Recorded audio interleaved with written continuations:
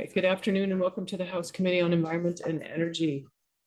This afternoon, we are going to hear um, more about climate change and resilience, and we're going to kick it off with Naomi Heindel from the North Branch Nature Center, who knows a lot about wildfire ecology. Welcome, Ms. Heindel. Thank you. Hi, everyone. I'm Naomi Heindel, Executive Director at North Branch Nature Center, just up Elm Street, a couple miles. Um, so thanks for inviting me here today. Um, and thank you to all of you for your role on this committee and for all you do for Vermont's landscapes and communities. Um, so I live in Worcester and grew up in North Ferrisburgh. Um, it's a real honor to be here today to talk to you about forest ecology, wildfire, climate change, and how those things intersect for us here in Vermont. So to dive in, work. Nope. How do I advance? There we go. To dive in, let's go back to this summer. Um, remember when all the headlines were of pictures of New York City looking smoky? Vermont was smoky too, um, even into August. And media outlets like Vermont Public, where this photo comes from, were also really focused on the smoke. In fact, it was kind of hard to find anything about the wildfires themselves. So today I want to take you under the smoke to where these fires were burning. At least here in the east, a lot of the smoke um, came from fires burning in Quebec, and specifically in a part of northern Quebec that is very familiar to me. So let's zoom in on this map. This is from mid-September. Is my head in the way for, okay. Um, orange splotches represent areas that have burned. So that, um, out of the way. That right there is Lac Mistassini. That is the largest freshwater lake in Quebec uh, by surface area. It's almost twice as large as Lake Champlain. Um, so let's just say that if you're canoeing, you'll wait till a really glassy, calm day to cross Lac Mistassini. Um, so for many of you, this map and this lake might not be quite as familiar territory as they are for me. So for some context, we'll head together from Montpelier to the boreal forest. So drive north from Montpelier about nine hours and you'll reach Chibougamau, an old mining town at the southern edge of this region of northern Quebec. First, you pass over the border, and then you drive up through the Laurentides, then through the broad dairy farming valley of Lac St. John, right there. Um, then you're about halfway there. Further north, the maps run out. Often there's just an arrow pointing north to Chibougamau. You pass through this French-speaking region, and if you go far enough north, the language largely switches back to English. English and Cree, that is, because at about hour 12, you'll enter the territory of the James Bay Cree, our First Nations neighbors. So now we've had a bit more orientation back to this wildfire, this wildfire map. Um, these are the four canoe routes that I've paddled on this map. The Rupert River heading to James Bay and the Mistassibi Nord-Est River, the Mistassibi River and the Mistassini River, all of three of which um, head south and drain into Lac St. John. Uh, I headed north to these rivers um, and others in Quebec and Labrador first as a teenager and canoe camper, and then later as a canoe trip leader. So I've spent a lot of time staring at maps of this region, and I've spent a lot of time in canoes paddling. That means that I've spent a lot of time portaging through the burned areas left by wildfires. The boreal forest is a fire dependent ecosystem. And I can tell you for sure that you and your canoe feel that the most when you're portaging. It's impossible to travel through this landscape um, without coming into very close contact with the realities of wildfire. Um, a bit of boreal forest ecology first. In terms of trees, we're talking about black spruce, balsam fir, jack pine, white birch, poplar trees. Um, those deciduous trees are pretty rare though, so mostly we're talking about miles and miles of tall, skinny black spruce. In terms of geography, picture a post-glacial landscape of eskers, rivers, bogs, boulder fields, another portaging favorite, um, ponds, lakes, sandy beaches, and low rolling mountains. Zooming in on some details, there's lots and lots of sphagnum moss and caribou moss, Um, that white in the middle there is caribou moss. It's actually a lichen, the only lichen I know that doubles as toilet paper. Um, there's Labrador tea, mountain laurel, blueberries, wild irises, fireweed, alders in the understory where there is an understory. Um, usually that's where fire has made an opening or along a river or a lake shore. Wildlife includes a very good supply of bugs and also moose, one of the world's largest concentrations of woodland caribou, wolverine, lynx, golden eagle, geese, beaver, and plentiful, plentiful fish. And as I said, this is a fire dependent ecosystem. Natural fire cycles in the boreal forest range from 50 to 400 years. It's the dead snags that I've navigated my canoe through on portages, the dense fireweed, Labrador tea, blueberries, birch, and poplar that grow up after a disturbance as early successional plants. Um, the serotinous jack pines that actually require wildfire to disperse and germinate, these hallmarks of the boreal forest are all there because of fire. Fire is part of what makes the boreal forest the diverse, resilient, important ecosystem that it is, Earth's lungs, as they say, meaning that fire plays an integral role in the functioning not just of the northern Quebec river systems and forests, but of the entire planet. 25% of the world's natural forests are in Canada, and 30% of the world's boreal forest grows there. The boreal forest cleans and recycles much of the Earth's fresh water and drives seasonal changes in atmospheric carbon dioxide levels. So truly all we need to do to be connected to the boreal forest is breathe. Fire plays many roles in ecosystems. It's important for providing wildlife habitat, for nutrient cycling, for plant diversity, for broader landscape, landscape heterogeneity and health.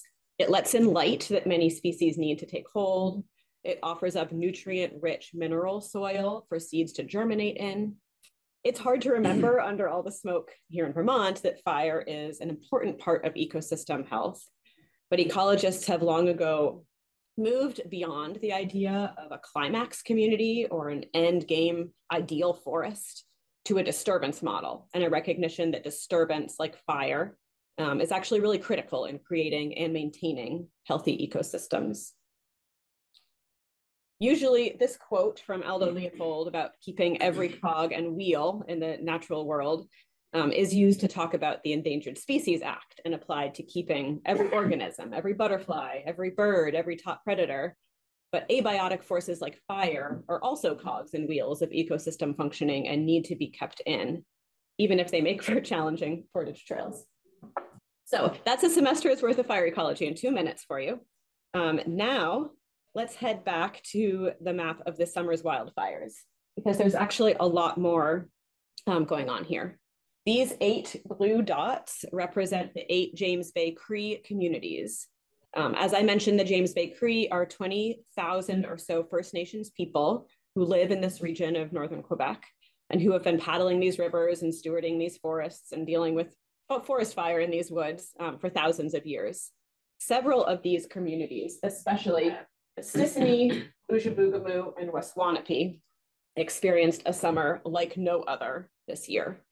So we truly can't talk about this landscape without the Cree being front and center to our story.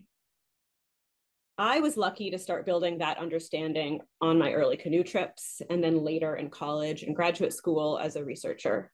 I've had the privilege of spending a lot of time on Cree land, in Cree bush camps, and in Cree forest management offices. Given all of this paddling and portaging and researching, I've spent a lot of 4th of Julys in Northern Quebec, usually hunkered down in some extremely cold rainstorm. Um, and yet here is what this path past 4th of July looks like here. Um, this is a, a shown here in this NASA image.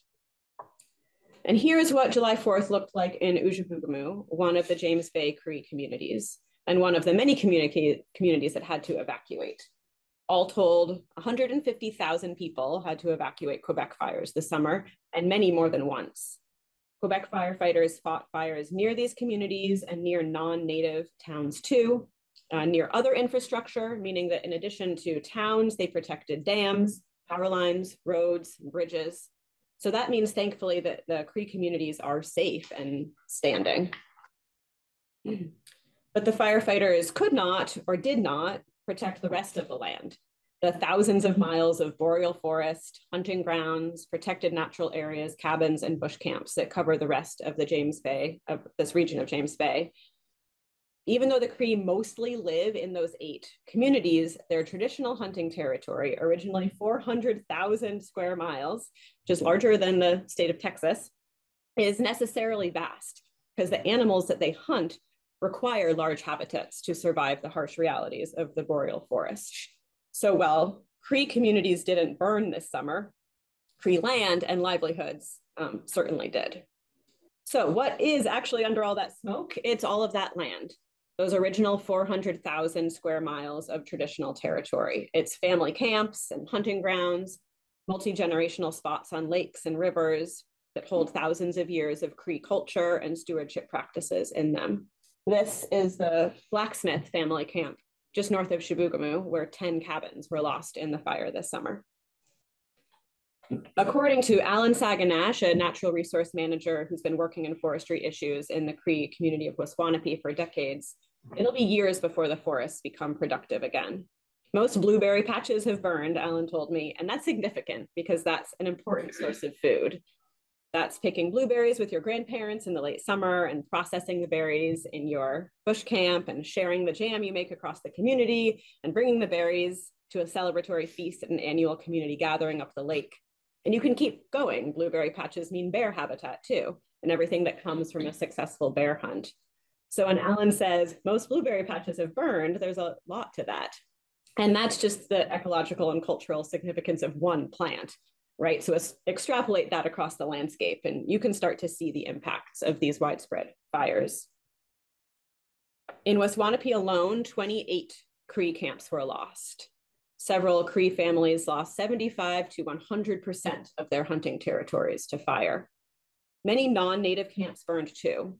Alan told me that people lost camps and equipment like boats, motors, four-wheelers, guns, and other essential equipment used for hunting, fishing, and trapping camps and cultural businesses were burned because they were so isolated. So that's a huge loss of cultural and traditional landmarks, places of birth, um, ceremonial spots, bear dens. It's also a loss of language because on the land, Cree language is different than it is in the communities. The more the land is impacted, the less of that special land based language is used and retained and passed on from generation to generation. So they lose words, phrases, entire ideas. And here is one important clincher and where things get a level more complicated. There is a sneaky loophole in all of the political and natural resource use agreements between the Cree communities and the non-native logging companies and the Quebec government that allows logging companies to salvage burned wood, up to 70% of burned wood, without that wood adding towards their yearly quota. So that yearly quota sets the maximum that logging companies can take from certain categories of Cree land, but burned wood, the wood they can salvage after these fires, does not count towards that maximum. And when these non-native logging companies salvage that wood and build roads and bridges to get to those burn stands, they add immeasurably to the environmental and social impacts that led to these huge fires in the first place. And they prevent the nutrient cycling and natural regrowth that I was going on about back in our fire ecology lesson. Alan Saganash reported that these salvage logging operations had already started going in at the end of the summer, even before all the fires had gone out or been properly mapped. Now, hold that thought about logging's role in all of this um, for a minute, because first we need to talk about climate change. This year, more than 45 million acres burned in Canada. That's an area the size of North Dakota and 12.8 million acres burned in Quebec alone, more than any other province. That's 26 times the annual average for Quebec. Um, and it released across Canada an estimated 2 billion tons of carbon dioxide into the atmosphere. That's more than three times what the rest of the country produced in all of 2023. So there's no doubt that climate change is a big player here. May to June was the warmest two month period in Canada since records began in 1940. The consensus seems to be that fires of this size are unprecedented in Canada, but are no longer going to be unusual, a theme that sounds familiar to many in the Western US.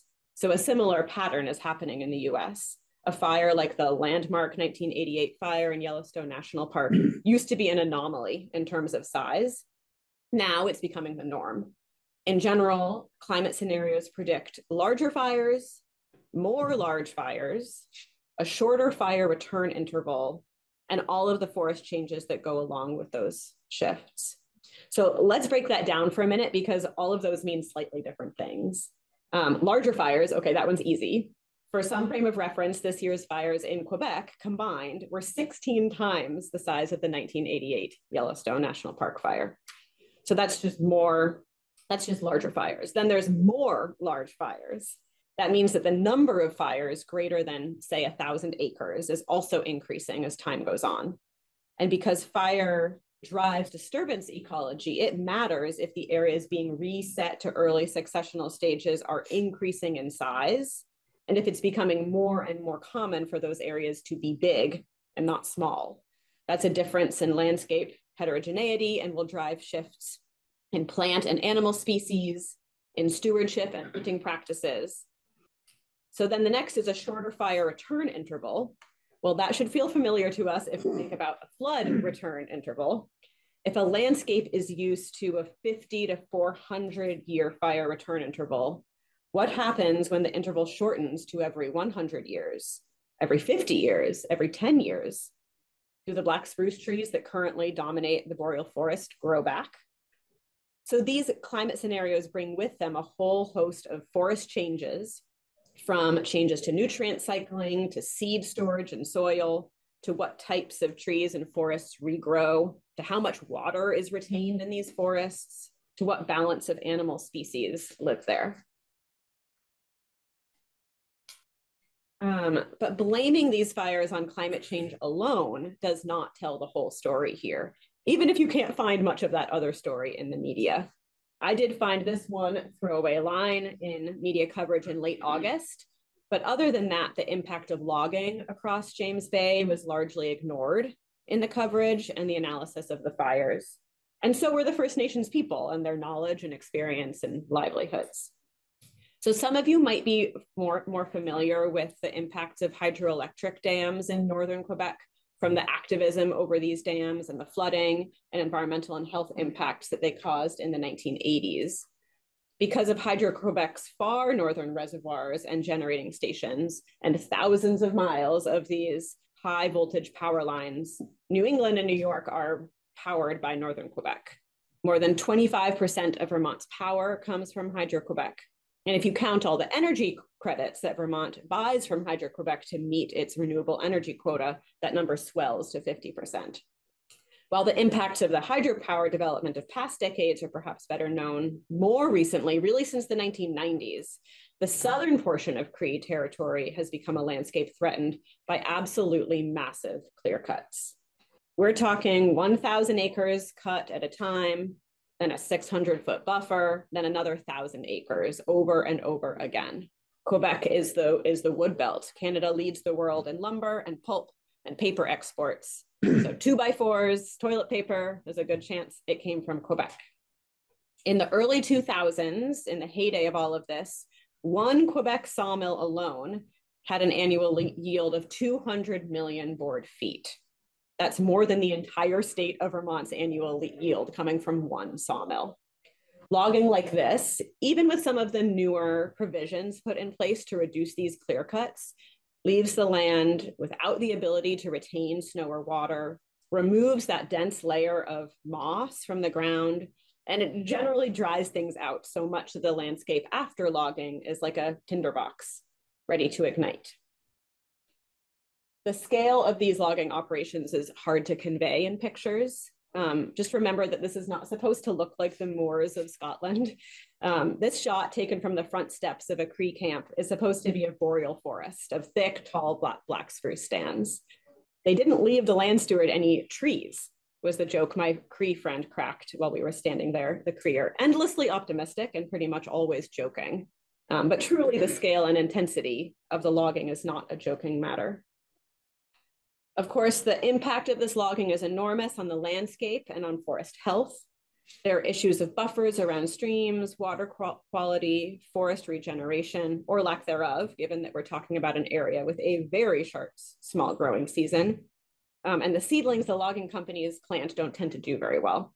There are shifts to undergrowth and tree makeup, shifts in wildlife populations, and massive impacts on the roads, massive impacts of the roads that are built to access all of these areas. Caribou populations are dwindling, for example, because caribou give roads a really wide berth. And because the patchwork of forest that has resulted from the logging has driven moose populations up and caribou populations down. There are also huge cultural impacts. These hands belong to Alan Saganash from Waswanipi. He's pointing to the places where he and his wife were born circa 1950. His wife Flora's birthplace is inside of this protected area that the community of West Waswanipi has so designated, and thus it is protected from logging, at least under current rules. But Alan's birthplace here is just outside of the boundaries of the protected area, meaning that it, like so many other important spots on Cree land, could someday be clear cut.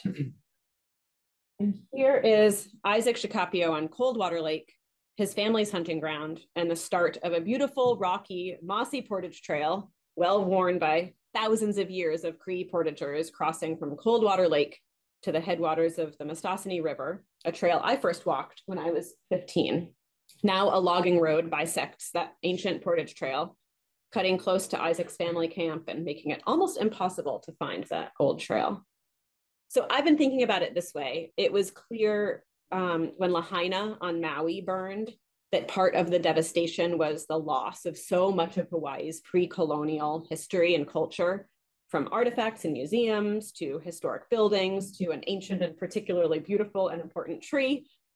The same is true here um, when James Bay forests burn at a scale unseen in, in human history. If we learn to see the culture of James Bay in photos like these, in an ancient portage trail like this, and if we learn to see that that culture is so wrapped up in boreal forest ecology, we'll see the true impact of these wildfires and of the complicated mix of logging and climate change that caused them. A recent study has shown that logging has removed more than 35 million acres of boreal forest in Quebec and Ontario since 1976. That's an area roughly the size of the state of New York, making the land more susceptible to wildfire at the exact same time that climate change is also driving increased wildfire intensity, and at the exact same time that we need the boreal forest more than ever. The world's boreal forest holds more than 700 gigatons of carbon in the trees and soil. That's almost twice as much as the world's tropical forests. It's a critical part of our ability to achieve any kind of climate resilience, and so are its First Nations stewards. I said earlier that the Cree are endlessly optimistic.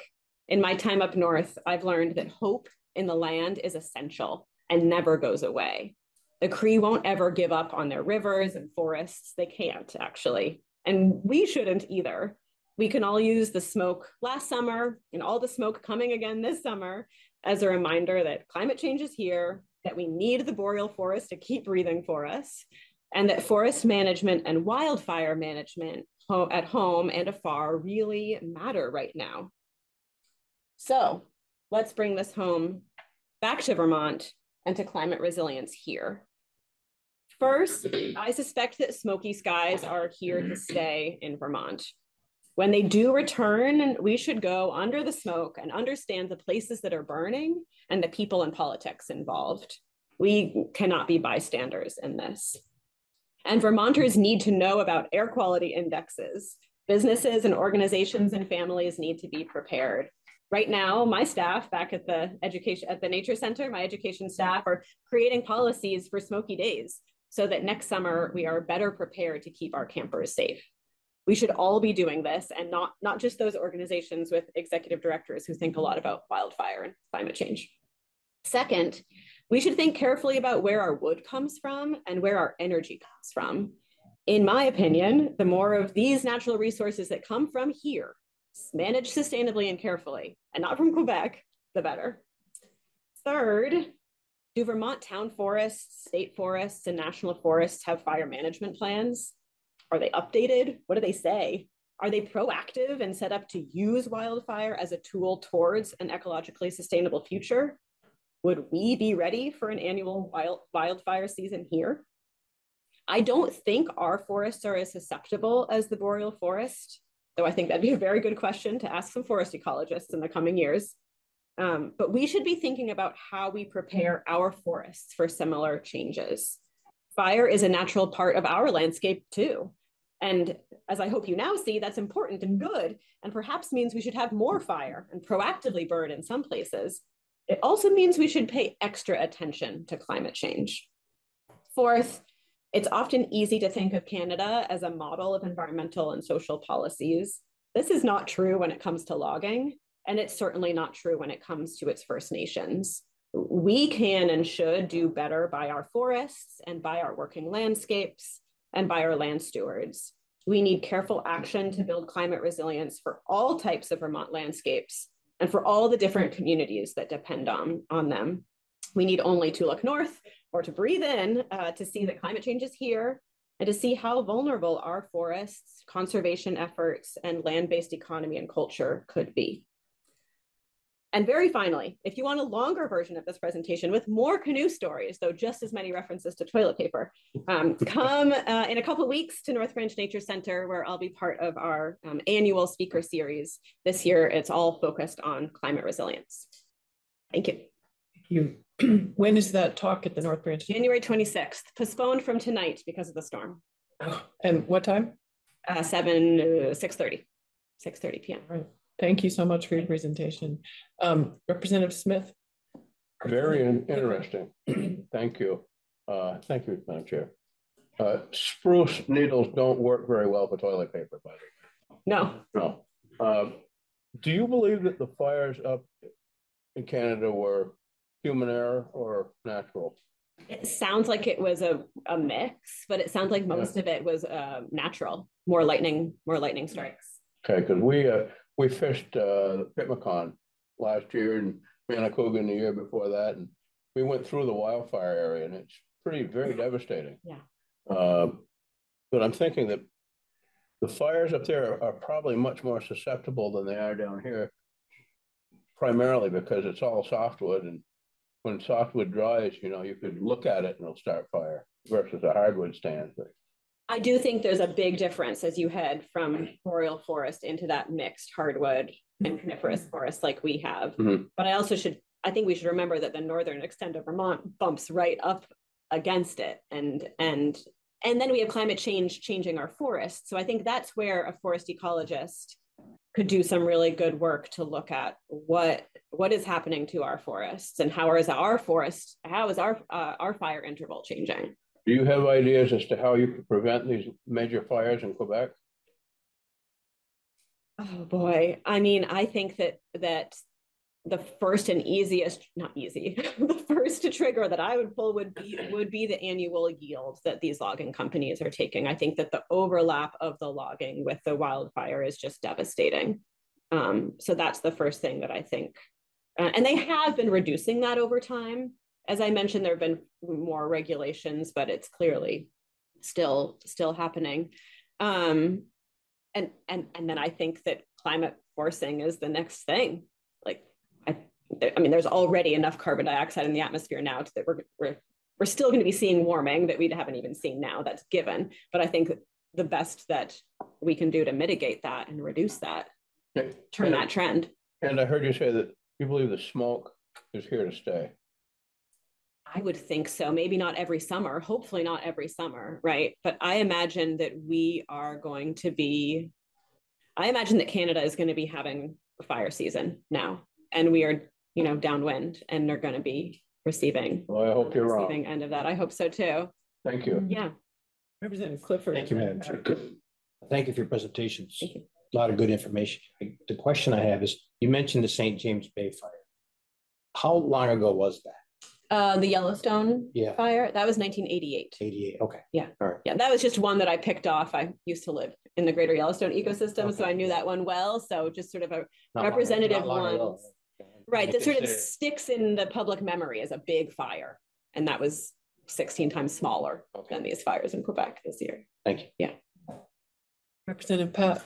Yeah, I just, um, eh, you sort of touched on a few things that just made me want to ask the question. I mean, it's c- clear from what you're saying that the, the land itself is more susceptible uh, to the fires because of uh, climate change as well as human activity like clear cutting or, or whatever. Um, but, and then you, you just mentioned lightning strikes, and my question was, okay, what is there anything else besides lightning strikes that that actually triggers fires to start other besides someone lighting a match you know kind of no it's so it's lightning strikes and the the land is more susceptible to the lightning strikes that or, or lightning strikes happening more Any, they're happening anyway, What? right? They're Yeah. happening anyway. They're probably happening more frequently as we get, you know, more precipitation events, more, well, we all learned about this after the flood, right? More precipitation events, more intense precipitation events. Um, we're, we're certainly getting the hurricane season, all that kind of stuff, okay, which I know less about. okay. Um, but yes, uh, I think increased lightning, and then when the lightning does strike, it's not hitting, you know, rich, lush boreal forest with this great moss cover. It's hitting it. so it's not human activity that actually triggers the fire to start it just makes it a whole lot Right. more susceptible right. okay thank you Representative Satcowitz. So it sounds like um, historical fire suppression hasn't really played much of a role in these fires. It hasn't. That's what makes Canada a very different case study than the US. In the US, when you look at increased fire over time, you have to play it against the fact that we suppressed fires, completely put them out for decades and decades and decades. So, yes, climate change is leading to increased fires in the US, but so is the fact that we're not suppressing them in that way. Canada doesn't is not analogous to that. It doesn't have that same history. Like in the US in the early 1900s, we just started put, putting them all all out um, to save our timber, um, basically.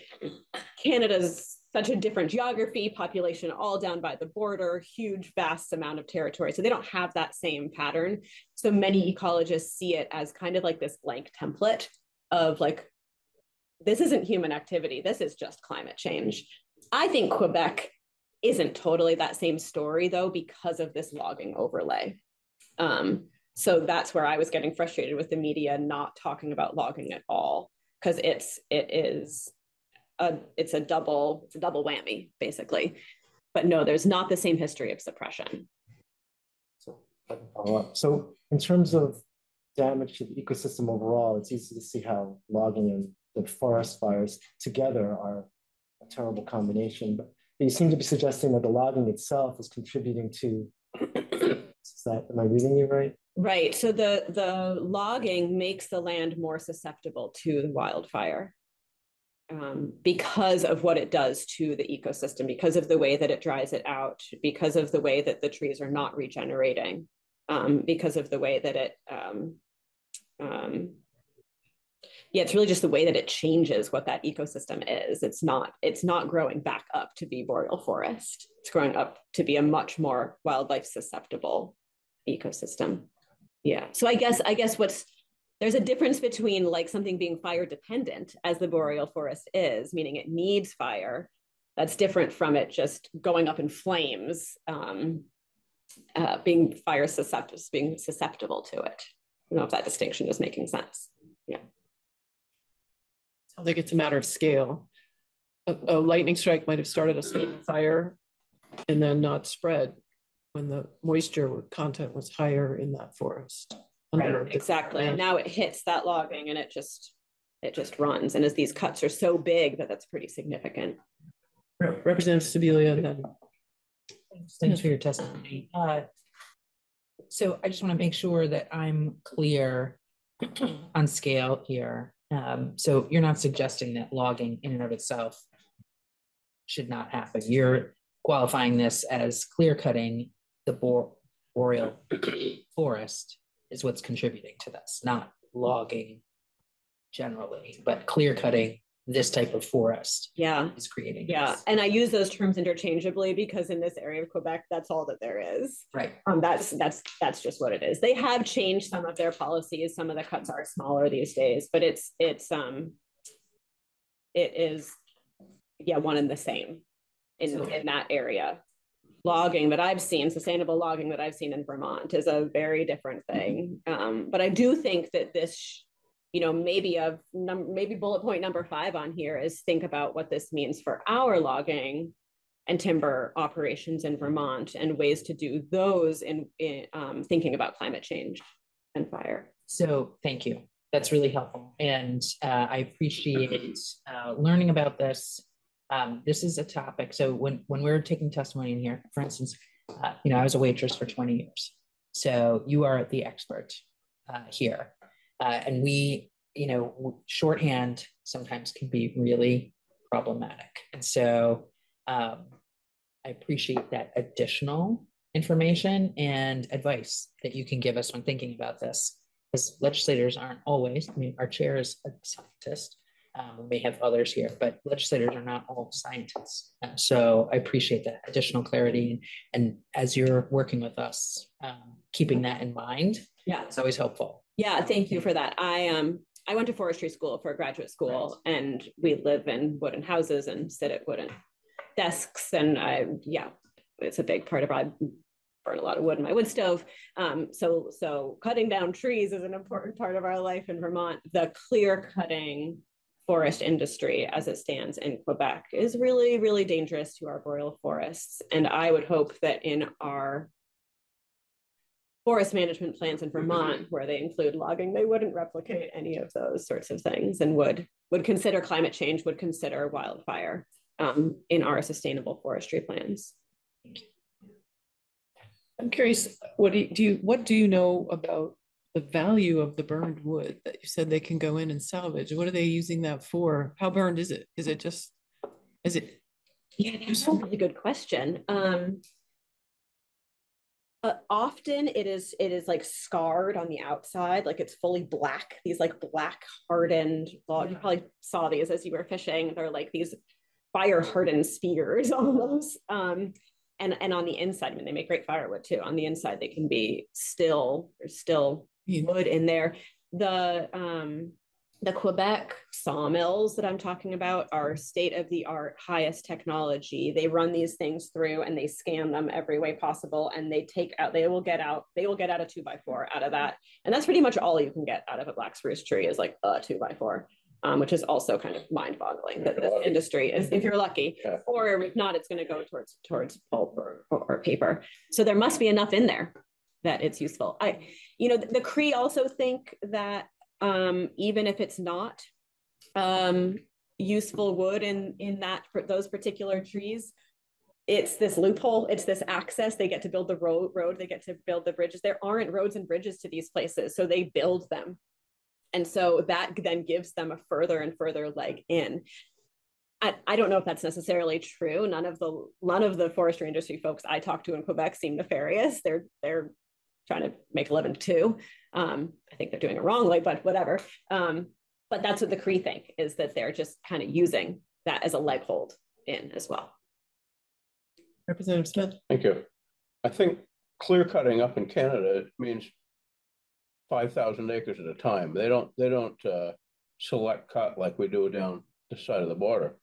But wouldn't, and correct me if I'm wrong, because I could be, wouldn't you think that creating a, a buffer with five thousand acres, that's not gonna burn after you have a, in the event of a fire, and it should be kind of like a, maybe a, a firewall of sorts? the buffers are so tiny. The buffers that i've seen are kind of laughable. Um, they're so thin like 600 feet that wind ends up just knocking down all the Won't trees do it, will it? it won't do it. It really won't do it. So a huge problem is the size of the buffers um, around like between the cuts and also around you know river corridors And do you do this for a living up there? did i Do you? no no Boy, I, I envy you if you did, but that'd be a fun life, I think. it's wonderful up there Yeah, it is. But if you don't mind, what was your research in? Yeah, as an undergraduate, my research was a, a remote sensing analysis of this exact issue. I won't bore you with the remote sensing details, but um, you can essentially tell the, using moisture index, you can tell um, what's happening as forests burn, forest cut, and, and regrows. Um, so that was at Dartmouth College as a um, geology undergrad.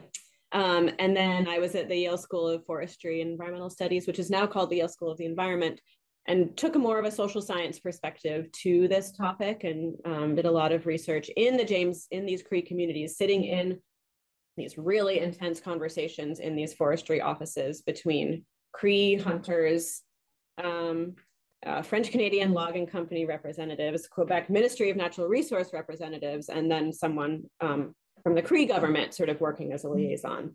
Trilingual, uh, very tense, very interesting stuff. So I was getting a look into what's going on in these conversations. How is how are these rules being managed on the ground?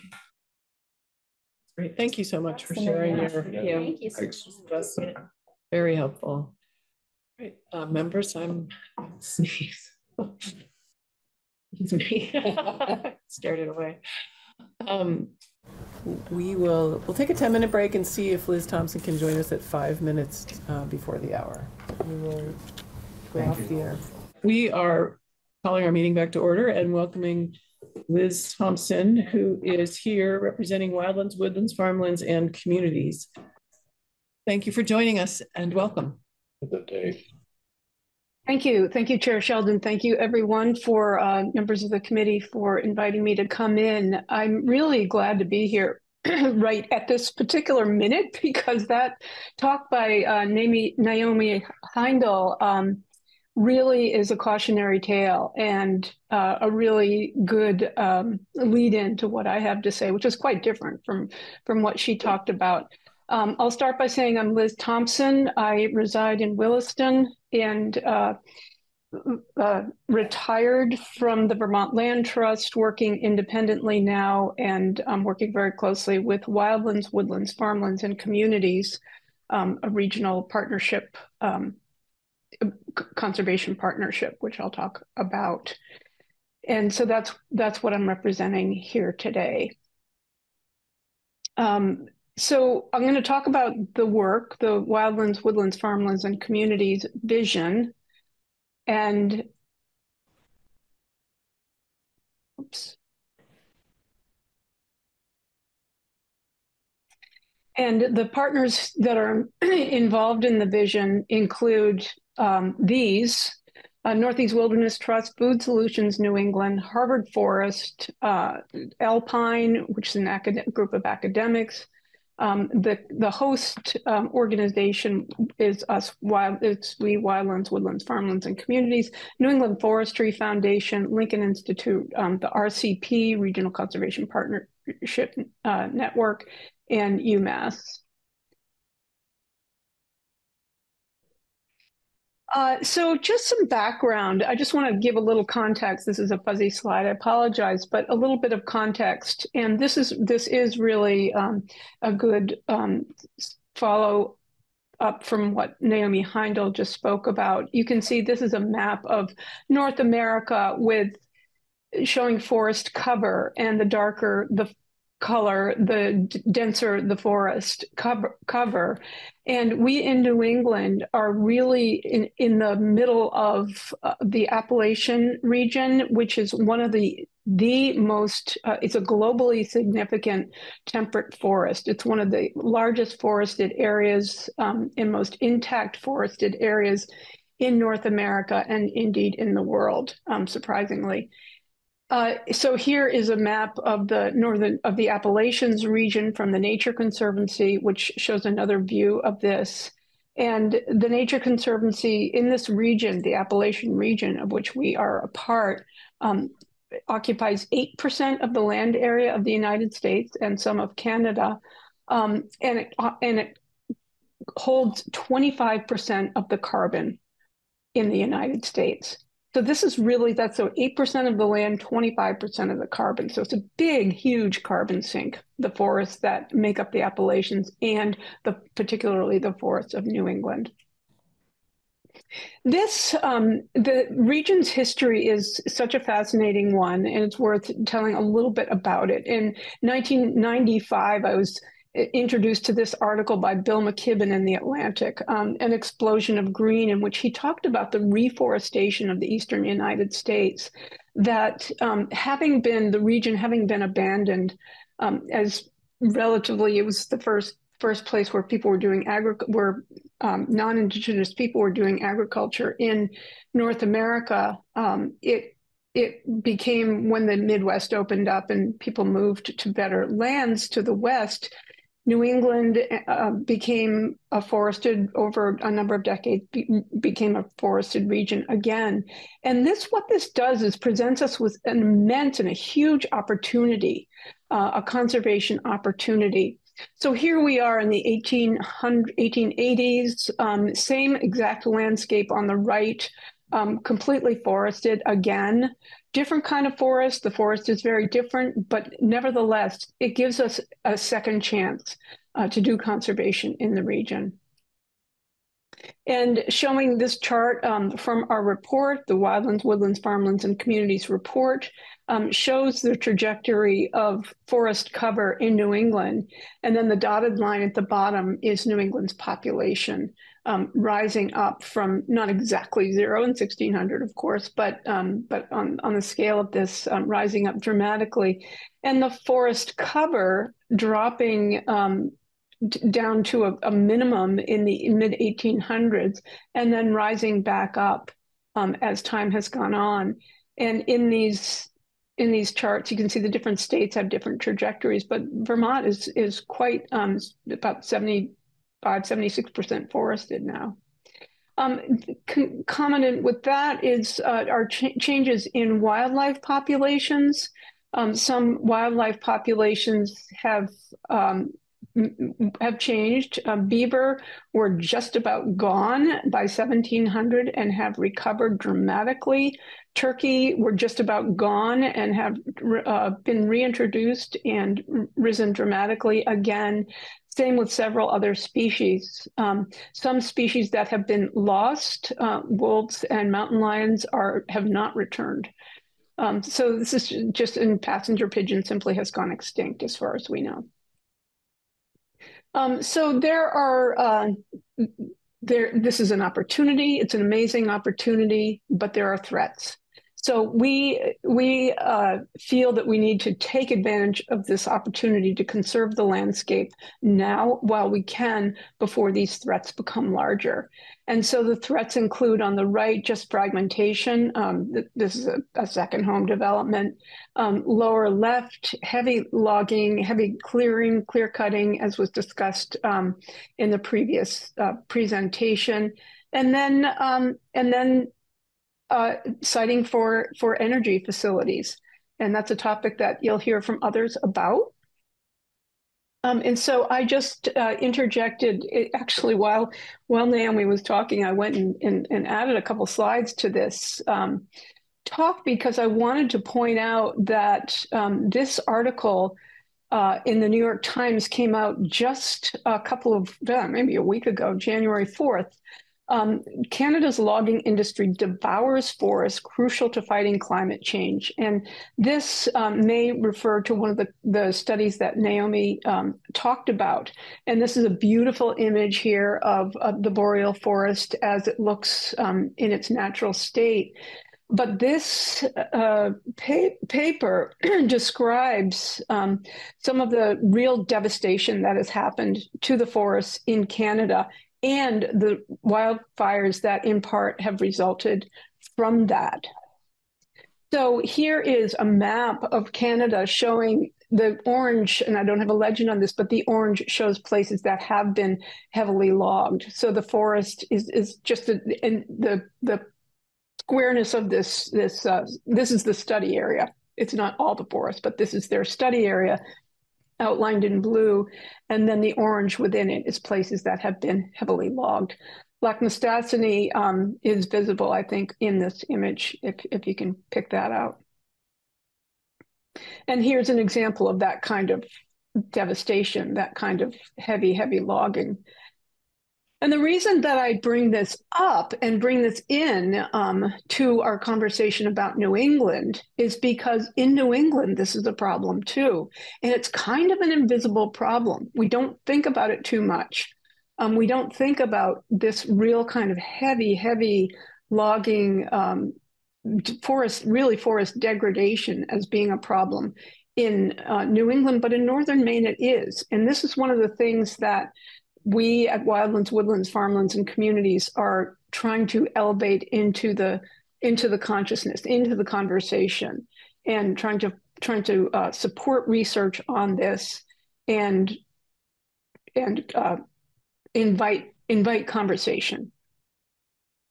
Um, so this is all, uh, you know, and the forest, the forest cover, the amount of forest that we have is directly related to it. It is the forest is a climate solution. Having a heavily forested region and keeping forests as forests, keeping forests as healthy forests is critical in uh, in adapting to climate change. This is the July flooding in Montpelier, thanks to Bryan Pfeiffer for this image.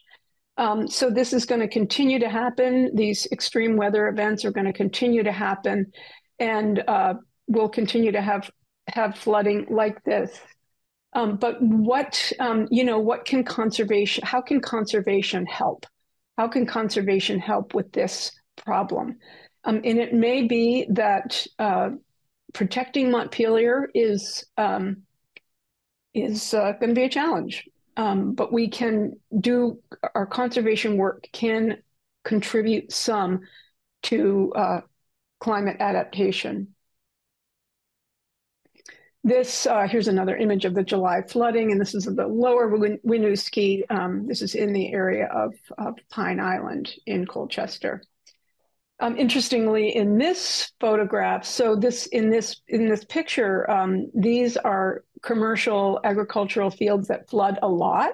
But in the July flooding, they flooded, um, you know, really quite seriously. But over on the right, um, in this image, is an area that has been recently uh, purchased by the Fish and Wildlife De Department and is being let go back to natural floodplain forest, with an understanding that some of these areas are just best as natural floodplain forest and that the agricultural lands perhaps should be somewhere else. Well, okay, so what is our vision? The vision of, of wildlands, woodlands, farmlands, and communities is it, it is a conservation vision and it's about conservation. And when we say conservation, we have a pretty specific meaning of that. Um, and the vision is that at least 70% of the New England landscape should be conserved as forest land, and that's about 30 million acres. That 80 to 90% of those lands should be managed as woodlands, meaning uh, forests that are managed sustainably for the production of the resources that we need and that we use, and um, but with care for the ecology of the of the forest. And 10%, 10 to 20% of these lands should be managed as large wildlands, as places where nature is the manager. So where nature, the, the natural um, ecological processes are allowed to function fully. Then we have a goal of 7% of New England being conserved as farmland, um, 3 million acres. And then finally, smart growth in concentrated areas to complement this forest and farm that says conversion. It means it's supposed to be conservation. That's a typographical error. I apologize. So this is what it looks like graphically. Uh, this on the right is a map of of what it what it looks like now, and the colors match the chart here. So the in this graph, um, you can see that there's a the line um, the is the line in the middle is where we were at in 2010 when this vision was first articulated uh, by the wildlands, woodlands, farmlands, and communities, and where we want to be by 2060. So you can see that we really want to see an, a real ramping up of conservation, particularly in forest lands, but also in farmlands. We understand that there will be needs to be an increase in developed land and at the top there's water and wetland which we hope will not change. We hope that will simply stay the same but on the on the lower that lower wedge the wildlands um, we want that to occupy 7% of the region which is about 10 10% of the forest of the region and there's a little bit of a closer look just just to help you visualize it some more And the when you see that sort of comb thing in the farmland part over on the right, um, I'll talk a little bit more about that in in a second. But what that indicates is that seven percent uh, protected as farmland would sort of maintain the status quo. But if we want to actually increase our food production, we will need to increase that number. So the four pieces of this, wildlands, woodlands, farmlands, and communities, I'll go through them one by one. Um, and the, the efforts of this organization in each area. Wildlands has been a big focus of the group over the last couple of years, three years. We recently produced a report, Wildlands in New England, Past, Present, and Future. Um, this was a very large effort of research and data gathering on the part of the, the uh, organization, the group of partners involved, um, looking at conservation practices throughout the region, conservation easements, ownerships, and really doing a deep, deep dive into understanding where the wildlands are in New England, where protected wildlands are, for example, the top of Mount Mansfield and Camel's Hump, um, two places less small as Colchester Bog. It is, we believe, the first US study to map and characterize all permanently conserved lands in one region that are managed to be forever wild. So it provides a baseline and a path forward. And the four organizations most involved in this were Wildlands, Woodlands, Farmlands, and Communities, Harvard Forest, uh, who did a lot of the technical work, Northeast Wilderness Trust, a regional organization, but that's based right in Montpelier, and the Highstead Foundation. And why we did this? Why do we need wildlands? Um, so you might be saying, well, where'd you come up with that 10% number? What what's that all about? Why why is that? Well, wildlands have intrinsic value because basically wildlands were the the natural cover of New England prior to a little over 400 years ago that was the natural land cover. There were humans here using this land, but their use of the land was in much um, was much lighter and more dispersed than what it is today. So they have intrinsic value simply because that is the natural state of the New England landscape. Uh, they provide immense biodiversity value. Uh, certain species that need wild forests need older forests. Uh, they uh, offer incredible value in carbon storage. Um, old forests, old growth forests hold more carbon, store more carbon than younger forests. And there's a whole science in that. Um, there's a whole you could you could get somebody in to, to talk to you for an hour about that. Um, it, which but it's a it's it is known that older forests and wild forests hold more carbon than younger forests. Uh, ecological resiliency, as I was saying, old forests, wild forests provide um, resiliency in the face of climate change and other stressors in many, many ways. Uh, they, they provide complex structure which keeps water on the land, for example. Um, old forests, wild forests uh, are less actually, um, Naomi talked about fire in, in New England and our forests uh, New England forests are less susceptible to fire, certainly, than Quebec or than, than the Canadian boreal forest that she was talking about. Um, but wild old forests with their moist soils and mossy logs on the ground are certainly less um, less prone to burn than younger forests. They provide places for human um, humans to to uh, go and and reflect um, and actually there's there's many human health benefits that have been documented um, by people going into old forests.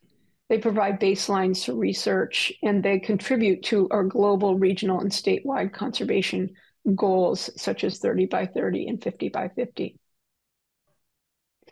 What are wildlands? They're tracts of any size and condition permanently protected from development, and that permanent is, is a key word, in which management is explicitly intended to allow natural processes to prevail with free will and minimal human in interference.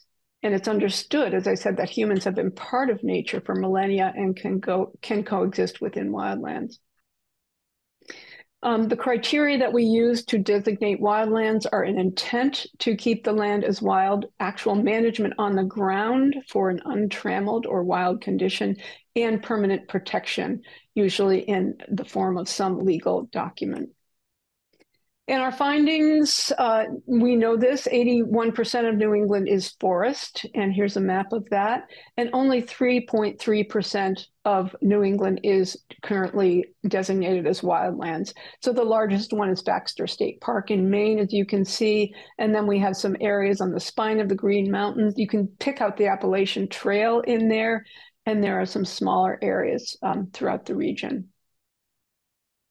And here's a different look at that. Those two maps are on the far left and far right. In the center is a map that shows uh, the forest land in light green, protected land in middle green, and wildlands in darker green. So there's a lot of conserved land that is not wildland. Woodlands. Woodlands are lands that are managed for timber production, and we have not, um, we've been involved in a lot of different activities regarding forest management, uh, but we have not done um, the same the same level of uh, we haven't done a huge report on on woodlands, but we're doing a lot of different activities regarding regarding forest management, uh, sustainable forest management, and our research team uh, is deeply involved in this topic in many many different ways. Um, we are involved in research, communications, and collaboration. Research, for example, I mean, this is just one little one example. This is not little, but Jonathan Thompson is uh, a researcher at Harvard Forest, and he and his colleagues recently published a paper asking the question Do working forest easements actually work for conservation? And if you can picture that, that uh, image of Maine that I showed, they were looking mostly at large forest easements in northern Maine and some in northern Vermont. Um, and asking the question, do they actually conserve the land? And the answer is uh, it, it's uh, not necessarily yes. Uh, it may be that the answer is no, not entirely, that forest easements don't entirely protect land um, from, from degradation. They may protect the land from conversion to other uses, but they don't protect the land from, from ecological degradation. And so this is a piece of research that we've been following. And in this publication that we have just started, this is an online publication from the ground up that we have just uh, launched and started. And in this publication, one of our uh, one of our founders, key members, David Foster, um, has written a review of that Jonathan Thompson et al. article and brings this brings this topic up. And we will have in our next issue, we're going to have a response to that review, to the article. So there's a lot of conversation going back and forth. Are these conservation easements actually um, helpful or not.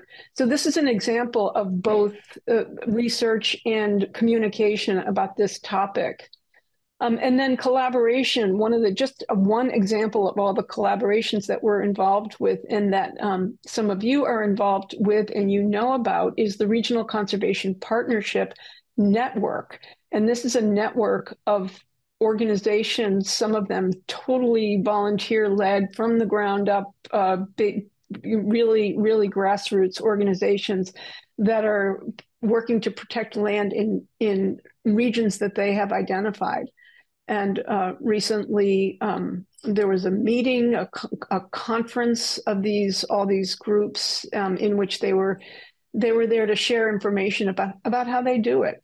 So that's one of the things that we're involved with is is just um, talking with other people and I can't uh, say anything, you know, without talking about Vermont conservation design and the work that we've done here in Vermont to identify wildlands and woodlands um, that are important for an ecologically functional landscape. So I just wanted to mention that. And here is the map of the ecologically functional landscape in Vermont. This is all tied closely in to Act 59. And um, we, we are just thrilled that these things are so uh, closely tied together.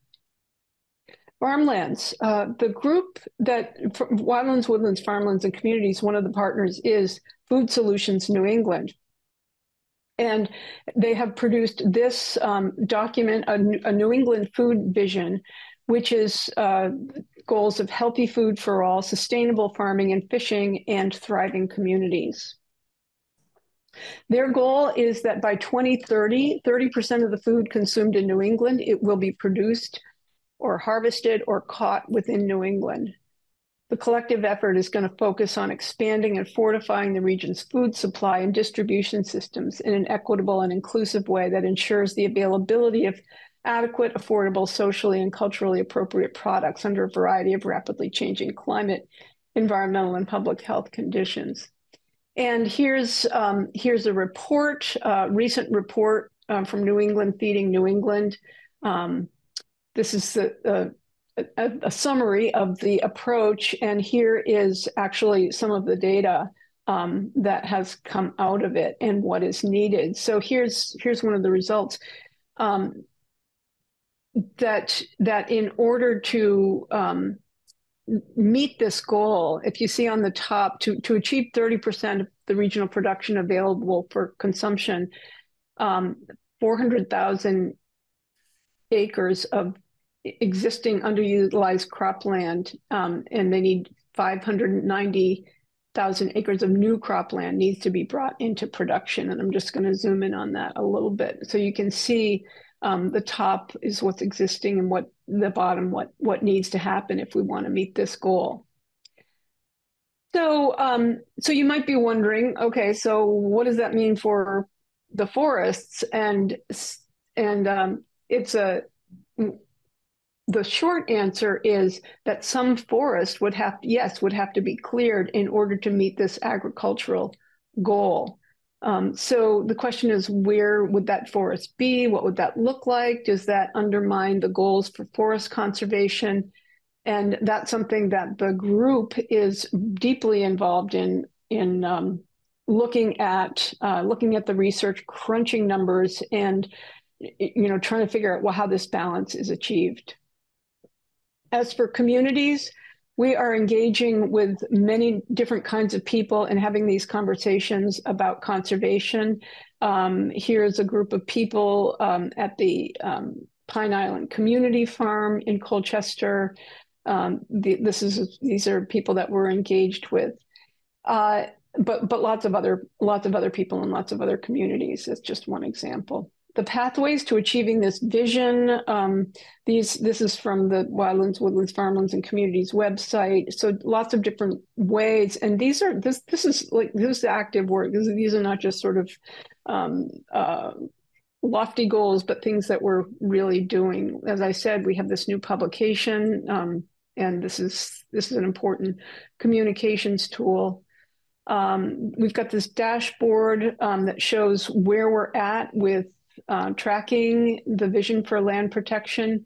So um, on the right, you can see the whole of New England, that uh, 20, about 25% of New England is currently protected from development um, that is conserved.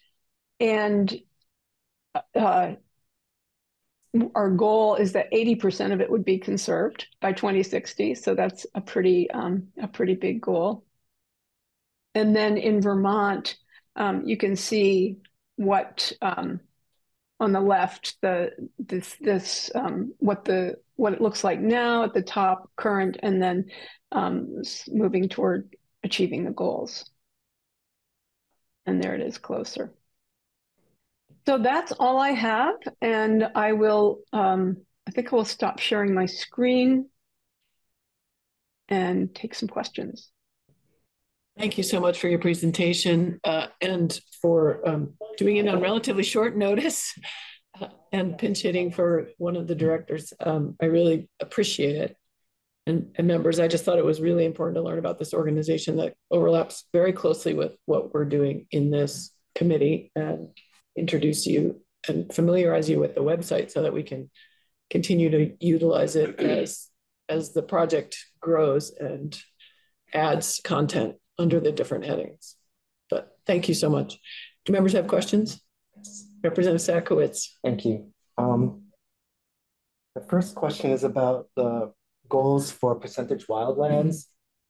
On the on one of the charts you showed a goal of ending up at seven percent, but in a, in a previous slide you had talked about a goal of somewhere between 10 and 20%. And so I was a little confused about the discrepancy, but but also the bigger question about which actually you raised but didn't answer about where that number actually comes from um, to begin with as like how did you choose that as, as a goal Two good questions. So the first one is easier to answer than the second one. The first one, uh, the discrepancy in numbers is the 7% is 7% of the total landscape, and the 10% is 10% of the forested part of the landscape. So that gets confusing. Uh, there's a similar confusion when you look at Vermont conservation design and its numerical goals. It gets gets a little confusing. So, um, and then the, the 10% uh, uh, matches up with the 7%, but the 10 to 20%, um, we've begun we've begun thinking that is 10% enough? You know, is 10% of the forest enough? Um, and really beginning to look at and ask questions about um, whether whether it might be increased to closer to 20%. So what is the origin of that number and what's the um, it's frankly it is a compromise between what we feel so it all comes down to this okay let me just back up a second and tell you about a, a research paper that is in the works um, that will be coming out soon and that i would i would love for you to see when it does it's called the illusion of preservation and it has to do with this it has to do with hydro in hydro in Canada. It has to do with the forests in Canada. It has to do with our use of the forests. And the point is that we uh, use resources as naomi was saying we i you know live in a wooden house and sit at a wooden desk and we use resources and so we need to account for that so we cannot we cannot simply look at, you know, it's tempting to sort of look at the pre-settlement condition and try to emulate that. And that would be something that that isn't achievable because we live here now and we use the resources. So it's a balance of of finding ways to produce the resources here in New England that we use here in New England and balancing that with with the wildlands conservation goals. So it is really sort of um, it's a shell game or a numbers game. It's it's not um, there's it's not a magic number derived by science, but it is practicality of figuring out well it is science figuring out how much we need how much what do we need in terms of forest products? What do we need in terms of agricultural land? What do we need in terms of developed land for humans to live in? And we do need some wildlands and how much of that can we can we what is the balance there and how much wildlands can we have? We believe that a 20, 10 to 20 percent of the region as wildlands or 10 to 20 percent of the forest as wildlands gives us some very very significant uh, natural areas wildlands resilient lands that will really contribute significantly to biodiversity if they are large enough and if they are connected and these things are really important and if the waters within them are also adequately protected. Thank you, Representative Satcowitz. Yeah. Follow up? Yeah, a little Go bit. ahead. We, will follow up and then another question. And so it, it sounds like the, the goal for the for wildlands is is the long-term goal would be to create a stable situation for preserving our ecological systems as a whole. And so, do we have any science to to know how much we need to preserve in order to to maintain these systems? I mean, to, first to get them back to where we like them to be, really, and then to maintain them stably over long periods of time. Yeah, there's lots of um, there's lots of different um, literature in the there's there's in the there's a lot of different studies in the conservation biology literature over the years that can help us. Uh, one thing that is that the the Nature Conservancy did a bunch of research a few years back um, to look at the size, the the pro proper size of ecological reserves, to for them to be entirely and fully functional for all of the ecological processes such as windstorms, fire, flooding to to be able to occur um, and and really have their full effect. And those numbers are in the tens of thousands of acres. So we need large areas up to 25,000 or, or more acres of wildlands to be for, to have them be fully functional in terms of those ecological functions, including wildlife habitat um, and habitat for the for the wildlife that that either inhabit them now or that we'd like to have inhabiting them in the future. So we need large areas, and that that it contributes to the number. We also need distribution across the landscape, um, across geophysical settings. In other words, we have lots of wildland at high elevation wilderness areas within the national forest, for example, but we don't have much in the lowlands. And those are places that have completely different species composition, different sets of species, different ecological processes and we believe that those need to be part of the mm, part of the picture too. So we're in, we're in the process right now of evaluating that, of actually doing a region-wide assessment to see uh, to see what the gaps are in terms of representation across uh, geophysical settings, to see what's missing, and to figure out to be more proactive about protecting those places that um, that need that protection.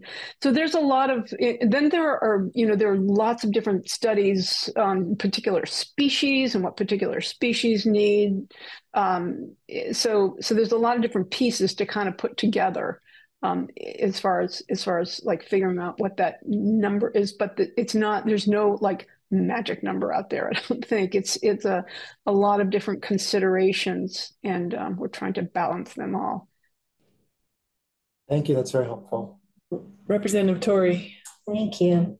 Um, I was wondering about the regional population estimates, um, the human population, how how that factors into these research um, projects that you're doing? Is it a, do you have a sense of a relatively limited population growth in New England over time? Yeah, and that's an area that I'm not, I'm not deeply knowledgeable about myself, uh, Representative Torre. I'm sorry to to say, but I, but we, our research team is that's one of the things that they are bringing into the into the research, looking at population projections um, and it's really interesting work. I mean, it's the the you probably know as much about it as, as I do, but it's it's just very interesting to look at projections and and uh, what has gone on over the last few years in terms of um, COVID and climate refugees, uh, people moving um, here, for example, uh, for certain reasons, and um, and how that's going to change New England overall, how it will change in Vermont um, so so we're yeah that that is playing into it. And and it is playing into the research that our colleagues are doing on this this food work partly too. Um, i guess i you know i'd, I'd uh, point you to um, one of our researchers brian donahue um, retired from brandeis university is doing part of this work some of the work on the illusion of preservation and also the food systems work um, and he has written a, a pretty good a, a, good article in our first issue of From the Ground Up about the integrated approach. And um, he, and I'm not saying that that article covers this topic. It it doesn't, but it but it's one of the pieces that he and his colleagues are bringing into the research about um, the illusion of preservation. What is it that we're going to need in the region? What is it that we're going to need um, in terms of resources um, as the population grows? Thanks. Representative Satcowitz. Yeah, what in um, one of your slides, you showed a um, a, a goal of 80% um, conserved lands. And in our 30 by 30, 50 by 50 um, statute, we we are obviously well below that. And I'm wondering if a lot of that accounts, I guess my, my question is, is there a difference in the your definition of conservation as as we from what we had in our bill or or is that just a, a, a more ambitious um, target? It is I, it, I think the answer is that it is simply a more ambitious target. And i think um, i think 30 by 30 and 50 by 50 are are um, 50 by 50 is a lofty goal and 80 by 60 which is our goal is really a lofty goal. Because because by conservation we do mean um, we do mean legal conservation. So either ownership by a conservation organization protection with a conservation easement um, those kinds of conservation. So yeah so it's it's it's a simply a more ambitious goal Sure. And my other question is about um, the amount of uh, land area that we need for agriculture. And you showed the, the possibility of us needing to increase the percentage from about 7% to maybe 14%, um, acknowledging that that might require some clearing of forested lands to attain that amount of space. And I'm wondering if in your projections you considered the kinds of food that that we're growing because some some forms of agriculture require vastly more acreage than others and how we allocate our food supply in, in that realm will really affect how much land we need. Yeah great question and um, uh, let me send um, a link to that report uh, because it does address that which is that it, all of this takes into account changing the way actually changing the way we eat and and changing the way we farm in addition. So it's it's if we were to continue farming the way that we do uh, it, the number would be vastly greater. It, it, it simply is is um, to to yeah it's it, there's there's a lot of different pieces to that but um, it's partly changing our diets um, somewhat which is that's a tall order but um, that's part of it um, in in just looking at what are the um, most efficient uses of land in terms of producing food for us. So it's it's not business as usual in terms of agriculture for sure. Thank you. Great. Thank you again for your presentation. Thank you, Madam Chair. Thank you, members of the committee. Thank you so much for having me. All right, um, take care. And so with that, we will take a 10 minute break. Okay, we're reconvening our meeting and we are going to hear from Jonathan Thompson, uh, the research director and senior ecologist at the Harvard Forest uh, on a report that he was part of called Growing Solar, Protecting Nature, and it focuses on Massachusetts renewable energy siting. Welcome, Mr. Thompson. Thank you. I really appreciate the opportunity to be here. Um, I don't no, I confess to I don't know who all's in the room. That's probably okay. Um, I also don't know what's of most interest to you. So the slides I've prepared generally describe this report that uh, my lab wrote in conjunction with Mass Audubon and Evolved Energy. Um, but I, you know, I would enjoy this to be a conversation as much as a presentation. One problem I have is that I can't see anything except my slides. And so if you have a question for me or a comment, um, speak up so that I can hear you if that's okay. Let's see the room.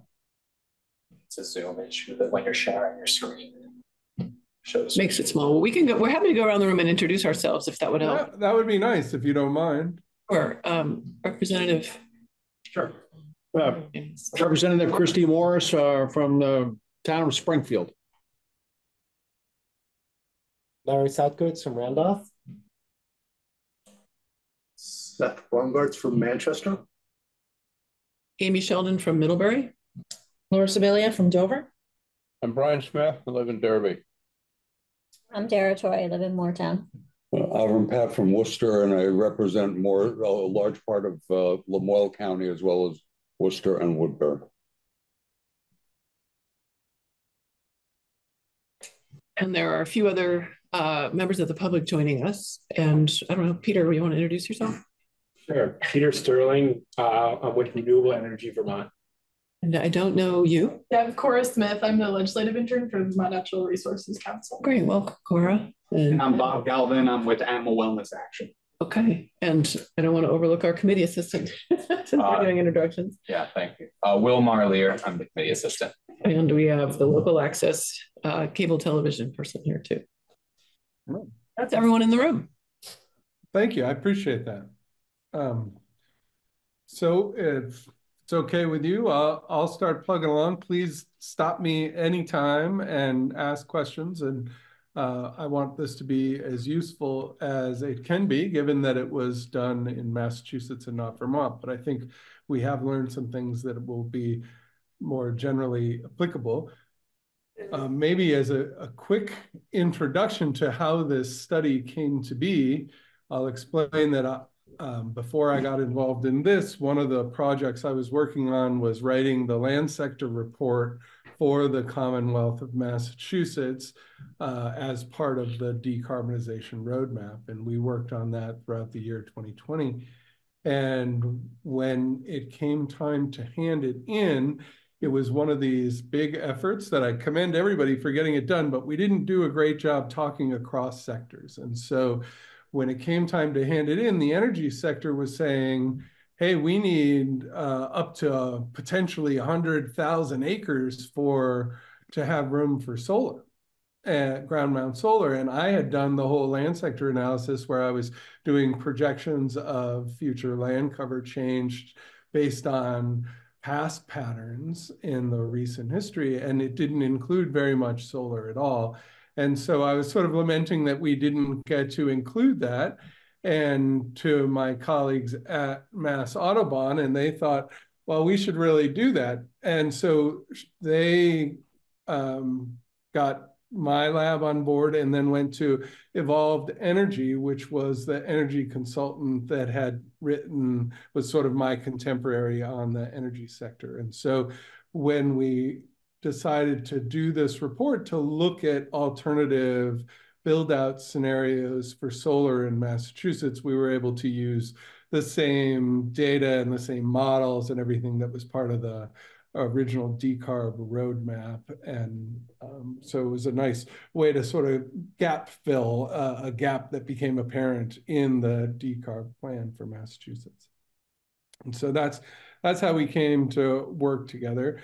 The, the report called Growing Solar Protecting Nature it was intended to do two things. One was to take a look at the the solar siting patterns that have occurred in Massachusetts over the past uh, decade and a half and uh, make some quantification of the ecological impacts of past solar development, and then look at alternative scenarios to the future and compare a current siting pattern to uh, some alternative scenarios that were more restrictive in terms of the protections they placed on natural and working lands. So I will just dig into it from there. Um, what we see here is a map of all the solar that was installed between 2010 and 2020. And you can see this accounts for about 1.4 gigawatts uh, of the total 4.2 gigawatts of solar production that's in the state. The um, both the state clean energy and climate plan as well as the IRA have really incentivized a large build out of ground mount solar in years to come. Indeed, the estimate from the decarb roadmap was that we'll need upwards of 27 gigawatts more solar to meet the demand and the net zero obligations that Massachusetts has committed themselves to. The solar that has been built uh, about 60% of it has been built on forests and another 15% of it on agricultural lands. And more than 10% of the total solar was on uh, what we call biomap 2 core habitat. Biomap is Massachusetts assessment of um, ecological resources in the state and an important habitat. So core habitat is a designated status of important unfragmented lands. And you can see that quite a substantial amount of past solar was affecting that. Here you can see some aerial photos of the town of Wareham, where they've had uh, 240 acres in that town. Um, convert of forest converted to ground mount solar. In the state, it was uh, about under 4,000 acres of forest converted. Uh, the equivalent carbon emissions for that would be equal to about 112,000 cars annually in terms of the, the forest biomass, the carbon within the forest biomass. Um, we, there's been a particular concentration. You can see it in this map in the southeast, just, I don't know if you can see my mouse, but this area just west of the Cape. And these areas are particularly important from a biodiversity perspective with over 200 state listed species and that uh, due to patterns of interconnects and uh, demand and politics has been one of the concentrated areas. And so we've seen substantial losses to biodiversity associated with ground mount solar in that area. So, you know, if if I were to characterize, you know, even just looking at these numbers here, about 60% of Massachusetts is forest, and about 60% of the solar built in Massachusetts was on forest. About 10% of Massachusetts is agriculture, and more than 10% was uh, the solar was built on agriculture.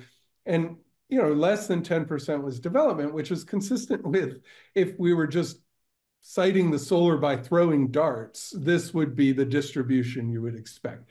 It's roughly happening randomly on the landscape in terms of the types of land covers that are being impacted by ground mount solar. Um, we have a we have a question from um, Representative Smith.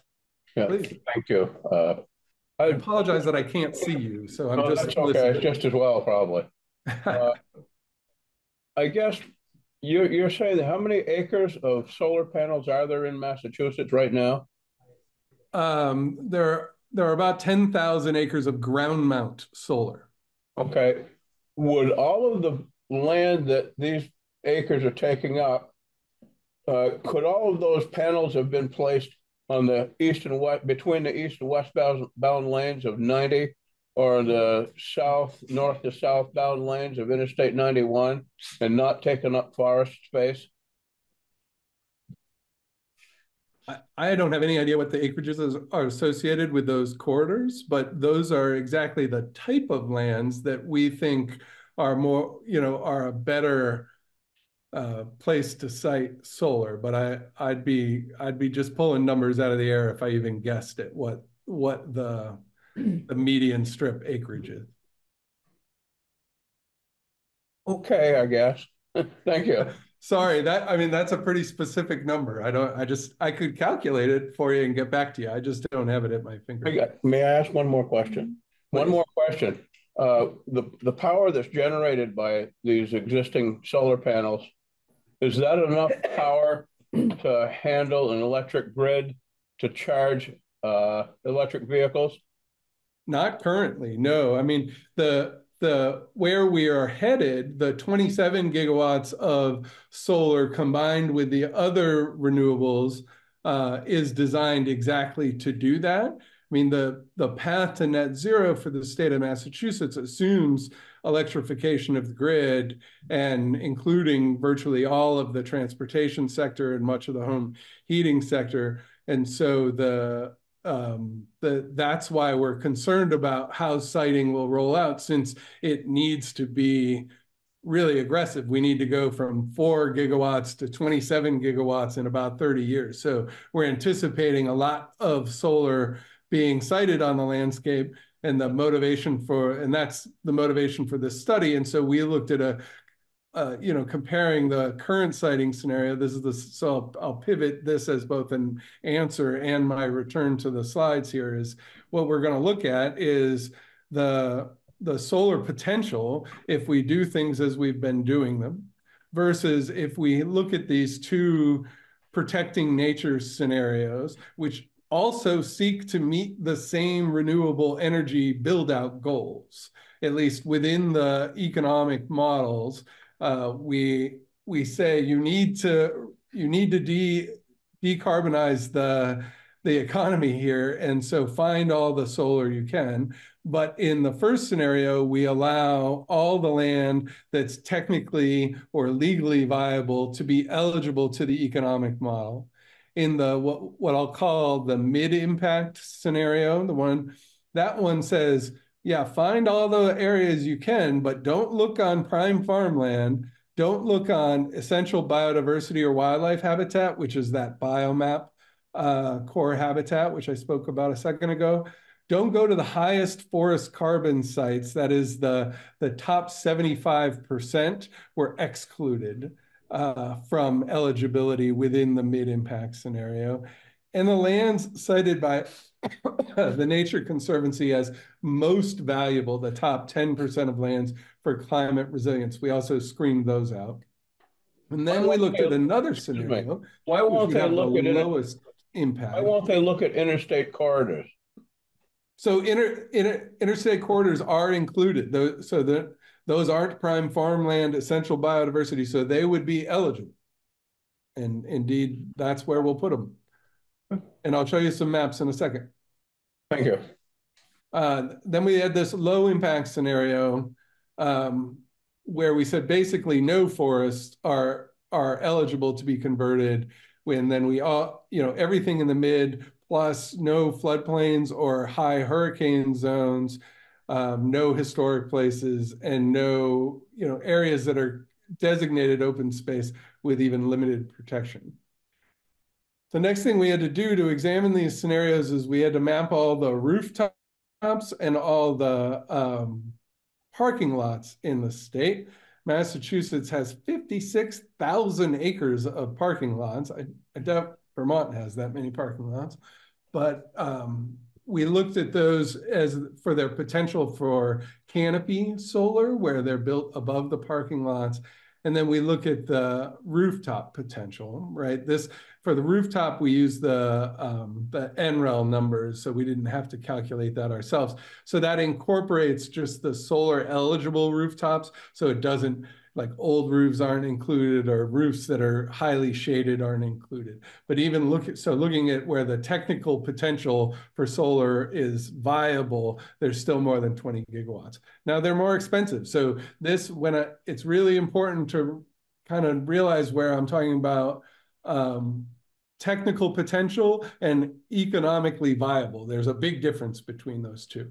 But in all three of these scenarios, we gave the model the ability to go for this amount of parking lots and this amount of rooftop. And then we started focusing on the ground mount. So when we look at the current siting scenario, the green area that you see here, those are all areas that are technically viable for ground mount solar, which is to say the slope is less than 8%. They, um, there's, they're not protected through any sort of conservation or other restriction that would keep them. But then, and I'm just kind of bundling the model, the results and the methods here, of that million acres of green that you see, 51,000 are economically viable according to Evolved Energy's economic model. And so this is under the current siting scenario. So that is an important number because the, the state was concerned that this could reach as much as 100,000, but we say that there's only 50,000 that make economic sense. Uh, and that has to do, among other things, with their proximity to interconnects, which we acknowledge the interconnects are going to have to change as the grid gets built out. So this number is a little bit dependent on the current status of the grid. The mid-impact scenario where we excluded all the high carbon areas and the biodiverse areas came up with 94,000 acres that are viable, but 41 uh, that are technically viable and 41,000 that are economically viable, right? And uh, so here, all the areas that you see essentially look brown because the technical and the economically viable have to overlap a lot more.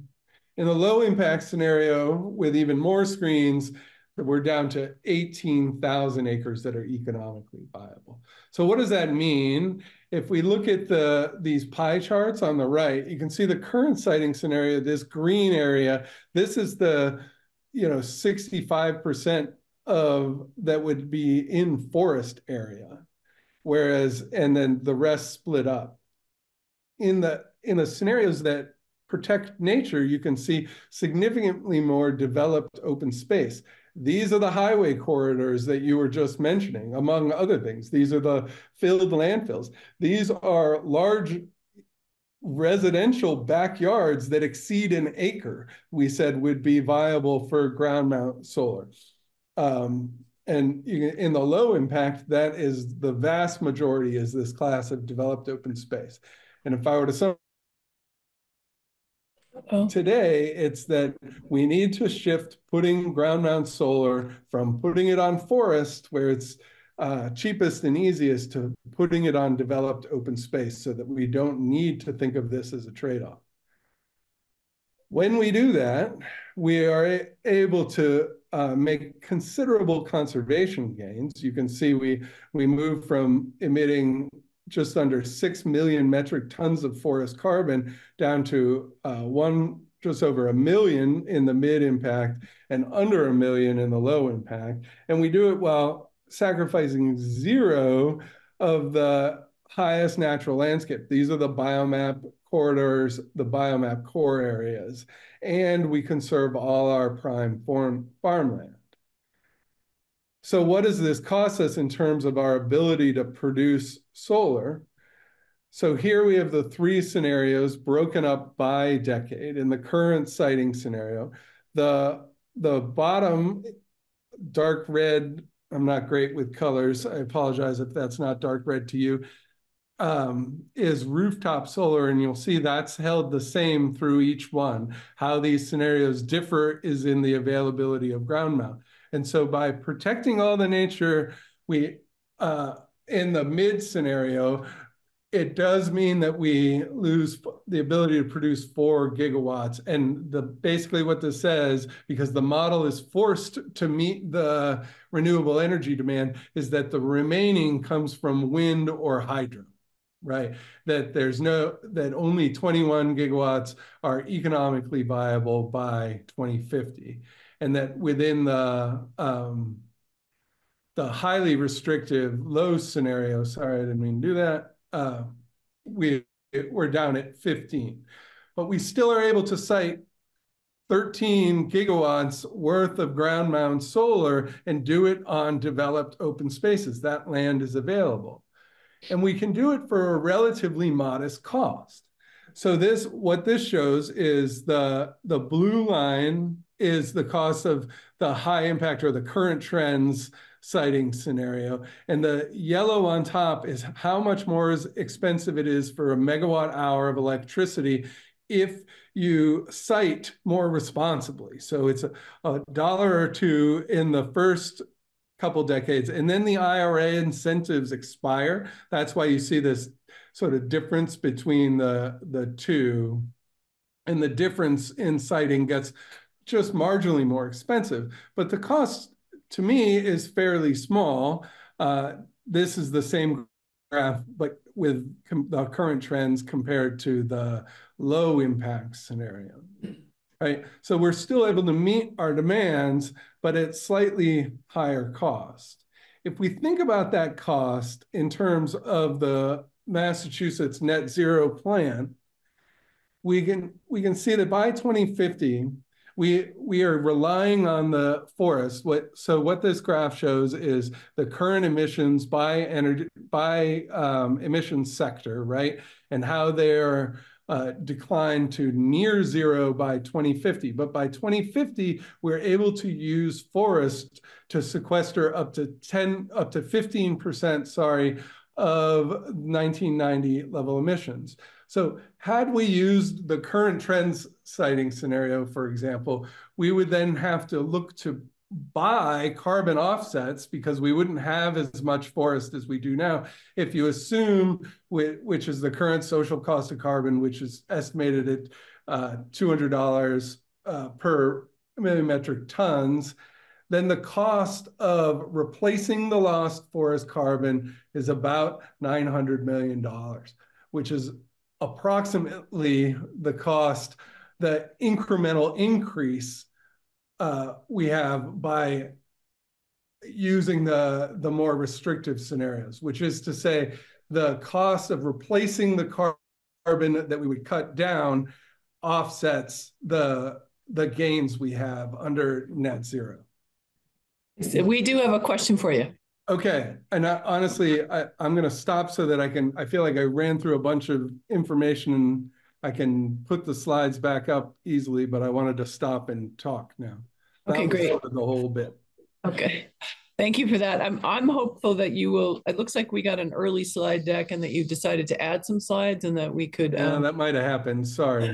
that's fine. I can Uh, share the these with you right now if you want. I added a few because when I practiced walking through this, which I hadn't done since October, I thought the story was incomplete given my earlier slides. Yeah, no, it's great. I look forward to getting those, um, Yeah. when, you when you get a chance to send them. Uh, Representative Sibilia has a question. Yeah, uh, good afternoon. Thank you for your testimony. Uh, on the slide that you just uh, showed, maybe two slides, three slides back with uh, current status, low impact, uh, me- medium impact, note back Pressing the wrong to, buttons. I think it was three. This one? Nope, one more. This one. Yep. And so here's my question for you. Um, you suggested that we would replace the renewable energy here with wind or hydro. Yes? So it's I'm sorry that it, it it's confusing because what I'm trying to explain is the model has is told that it needs to purchase energy to reach 27 gigawatts of renewable energy to meet the net zero goal. And it does that by buying electricity at the cheapest price. It's an economic model that assumes we're all rational. Um, and so in the current siting scenario, it can it can e economically get 25 of the 27 gigawatts from solar before it goes out and searches for renewable energy from wind or hydro. And then the mid one, it gets to 21 before it needs to look outside of solar. Does that make sense? It does. So uh, currently, we don't have to look to hydro or wind. Uh, and uh, okay, and when we're protecting nature low, which uh, we low impact, maybe not the most intuitive name. yeah. So in that scenario, we would have to make up with wind and uh, hydro. Correct. Okay, and so then my question for you is, uh, so do you uh, do you see those as better for biodiversity? Yeah, like those, if those are mean these protecting nature scenarios, are they better for biodiversity? Yes, hugely, much, much better. So Jonathan, no, my question is, do you are are you uh, testifying to us that uh, hydro and wind, renewable energy, Oh, are, are, are better for biodiversity than solar? No, I'm not, I'm not saying that, and I lack the expertise to say that. I'm a terrestrial ecologist and don't know a heck of a lot about wind impacts on marine biodiversity, and so wouldn't wouldn't feel comfortable saying saying that at all, but one way or the other. So uh, then I'm kind of a big picture gal. Uh, so uh, I, I'm a little worried here that we aren't that we are just kind of pulling one piece out and thinking terrestrially and not about um, or just about solar and not about the impacts of wind and hydro. So I, I, I, I, that makes a lot of sense to me. Uh, I would offer that the, the alternative is that you could incentivize the solar to make it more economic. In which case, what I would like to see happen right now, this rooftop solar number is just what's economic. If that were incentivized, we showed earlier that we have capacity, technical capacity to produce 20 gigawatts of solar on rooftops. Only nine of it right now is economic, but that the, the economics could change with policy incentives. This number could go up to 20 and we could not need as much ground mount or wind or hydro. Okay, I, but I don't know that that was one of the options that you said, or maybe I did not. No, no, I'm, I didn't I say didn't- that before. I, I'm not trying to restate. I just, maybe I'm a little too pickled in these data. So one thing I, I noticed when I look at this is that you say here, I show here, green is canopy solar. Why don't I see any green on this map? Well, that's because it's not economic to build canopy solar. It's about 150% as expensive as a as rooftop because it, you got to hold those things up and it's a lot of steel and all the reasons. Yet, while it's not economic, while I drive around, I see a lot of canopy solar. And so I know that there are opportunities that people don't always act perfectly rationally as this model would assume, and that there are opportunities to build canopy solar and rooftop solar that could boost these numbers. All these numbers show is what is economic under a pure rational model. Thank you. And there may be other benefits to canopy solar. Um, Yeah, it keeps your car cool and snow free and yeah, um, Representative Patt. This is either a, a question or a clarification. Um, when we're talking about wind, how are we defining it? Because from some of the comments, it sounded like we're talking about um, uh, uh, wind, water, ocean-based, uh, you know, wind, wind projects, as opposed to projects that might be conceivably built in Vermont would would would not be. And there's a, a huge difference between the uh, environmental impact uh, on the ground, so to speak, between between those two. So I just want to be clear what we're talking about when we say wind. So for because our purposes were to examine the impacts of ground mount solar, we use the um, the renewable energy estimates for wind as just one coefficient in the model for is what is the price per gigawatt of wind production. And it's agnostic as to the source of wind. It's basically averaged over all wind, both offshore and onshore. We weren't specific to that. Even when we say hydro, I assume we're talking about Hydro-Quebec because that's the only viable uh, hydro, but it isn't specific. I couldn't point to you the exact place that the hydro is produced. Hydro and wind both have estimated production curves for the future so that we could compare them to solar, and that's what our model includes. Representative Satcowitz. Yeah, does, does your model for solar, does it assume present day technology for solar being the consistent level of that, that we're gonna, that you would see up until 2050, or do you make allowances for the improvement of the technology potentially during that time? So we we we use. Um, I'm trying to.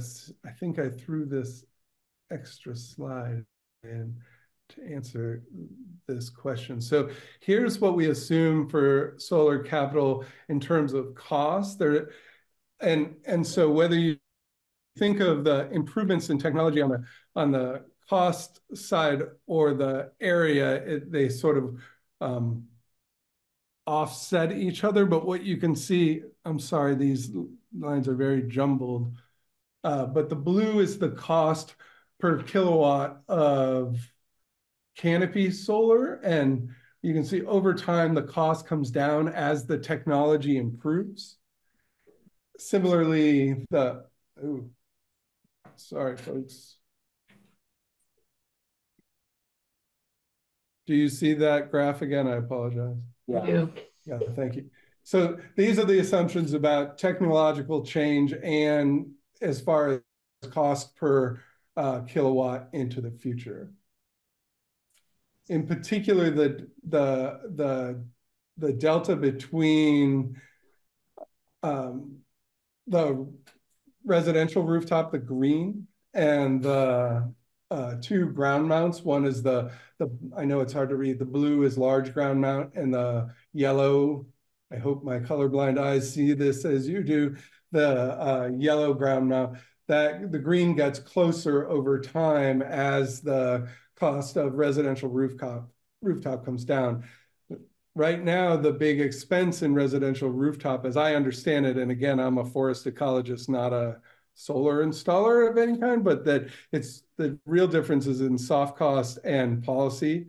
And so the way to bring that down is to make make it easier for people to put solar on their rooftop. It isn't so much the technology of the panels changing.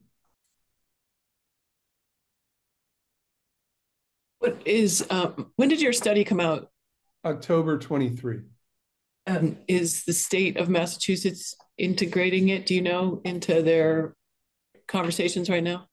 Very much so, yes. Um, Chief uh, Climate Chief Hoffer is was a, a strong advocate of this, and the um, the Department of Energy Resources put out a technical potential study in about a month before we published this, and we largely agree on the technical potential of solar. Uh, our our report just went further to look beyond the technical potential and to look at both the economic potential and the ecological potential of of solar. And so uh, we've been working closely. I continue to work as the land sector lead for the state of Massachusetts and am doing the forest modeling, uh, looking at alternative forest management scenarios. I, I mentioned to Will that I could present on that stuff today, and he said maybe they'd like to hear about that in the future, but right now we're talking about solar. So I didn't prepare any of my information on how Massachusetts is looking at forest management and um, development scenarios. But in that work, I am integrating this Audubon's solar studies as we look at the forest work as well. And if you ever want to have me back, I'd be happy to talk about the, the forest work as well. Yeah, we we likely will do that. Um, I guess I'm curious about your comment on soft costs and policy, what, what's making rooftop more expensive and um, if they're looking at policies that will bring those costs down or make it more possible. Yeah, I again, this is not my area, so what I'm what I'm relaying to you is things that I've heard and not studies that I've conducted. I just want to be clear that I'm just being uh, anecdotal, but some of the policies I've heard is there's um, questions about whether an elect licensed electrician needs to install every panel or could just inspect them because the age of licensed electricians is increasing and the number of them who want to climb on roofs as they age is going down, yet the installation of the panels themselves maybe doesn't require the level of technical proficiency. And are there ways to loosen up the regulations on that. So that's the type of example that I hear that would bring down the cost of permitting and and other uh, soft costs. there's always the reference made to um, Australia, who has like sweepingly permitted the whole country uh, for rooftop solar to try to streamline that because just speaking now as a consumer, I have a net zero home that I put 15 kilowatts of solar on, and it took me about eight months to get the inspection done and have it turned on. Wow. And that's not my study. That's just me as a consumer. Yeah. And it, it's just there's a big backlog for these things. And so that that feels like a, a big constraint. Big day it took me no time to do mine. I don't know the differences. So there's. No, I, I, should say I did. It was right in the middle of COVID, and so yeah. you know that probably had something to do with it. Yeah. Um, further questions from members? All right, I'm not seeing any. Thank you so much for this. Um, it's really interesting for us to just uh, hear what Massachusetts is up to, and uh, we really appreciate your your coming in today. Yeah, the full report, you you know, use Google and write growing solar protecting nature and all the figures you saw today are in that report. I'll send you an update of the slides, but uh, every figure I showed is in the published report, which is online. And so you can find them there as well. I really appreciate the opportunity to have this conversation. Thanks. Yeah. All right, great. Thanks. Bye. All right, members, with that, we will um, We have time for another 10 minute break. Like they're coming fast today. We are going to um, continue conversations about climate resilience and hear about beaver ecology from Allaire Diamond, ecologist at the Vermont Land Trust. Welcome, Allaire. Thank you. Can everybody hear me? We can hear you and we Great. can see your little square up in the corner. Okay, well, good. So hopefully you can see the landscape is a lot bigger than me on the on the screen. Um, well, thanks for inviting me. I um I have just come with very kind of short notice, so I hope you'll forgive just me having a very short presentation. Um, luckily, there's a lot of just great images, and I I just was thinking with the time um, that we have that we could spend some time just looking at those. Um, really, I'm interested in talking more about the impact that beavers have on the landscape, um, less about kind of them as animals. That's just not my area of expertise. Um, so I can give a little introduction to myself, but I, I'm also just would love to hear kind of what you are interested in learning about or hearing about or talking about today too. Um, so why don't I start? I'll just introduce myself and then I, maybe before I launch into the slides, like we can I can hear a little bit about what you you would love to hear about.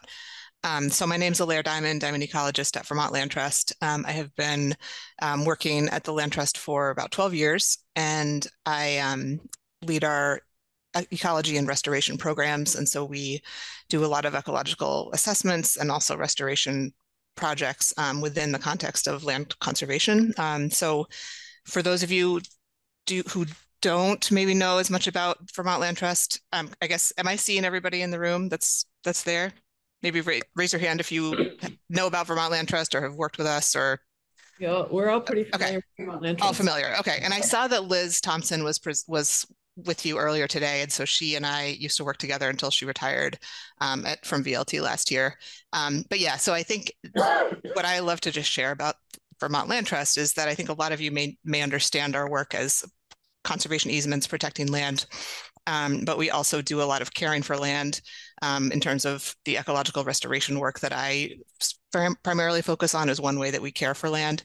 We also have a, an outreach and education and engagement um, component where we connect people to the land as well, whether it's like on the ground activities, events, um, talks, or um, publications, webinars, and that kind of thing. So if you have any questions about Vermont Land Trust, um, I'd love to, you know, be able to answer those too. Um, so, but I'm here today just was invited to talk about beavers and beaver ecology is an area of particular interest of mine um, that I've been developing over the last couple of years. And I guess, can I just ask you before I share what I've brought, just what your questions are, interest is, or how you would like this information to connect with your work as a committee? Sure. Um, well, I'm I'm increasingly aware and knowledgeable and watching the beavers in my own neighborhood and learning more about them and appreciate uh, the work that they're doing to manage the landscape and make it uh, climate resilient. And I just wanted to have someone share that information with the committee and talk about all of the benefits that they're providing to us as they work the landscape. Awesome. That's great. Uh, Representative Torre. Yeah, I'll just add to that that um, you know, we're also curious in this committee what kinds of um, agency collaborations and things could be supportive of, mm-hmm. you know, optimizing the thing, the role of beavers um, in our communities. Okay. That's helpful. Thank you.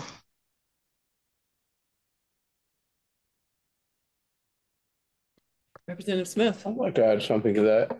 Uh, I live in Derby and beavers are a nuisance animal. Uh, they're very nice. They're fun to watch in the water, but uh, they've cost the town of Derby uh, thousands of dollars in road repairs. And we do at times have to send someone out to eliminate them. Uh, I guess they're okay in their place, but uh, I'd like to hear from you and where you might think that place is correct to be? Yeah.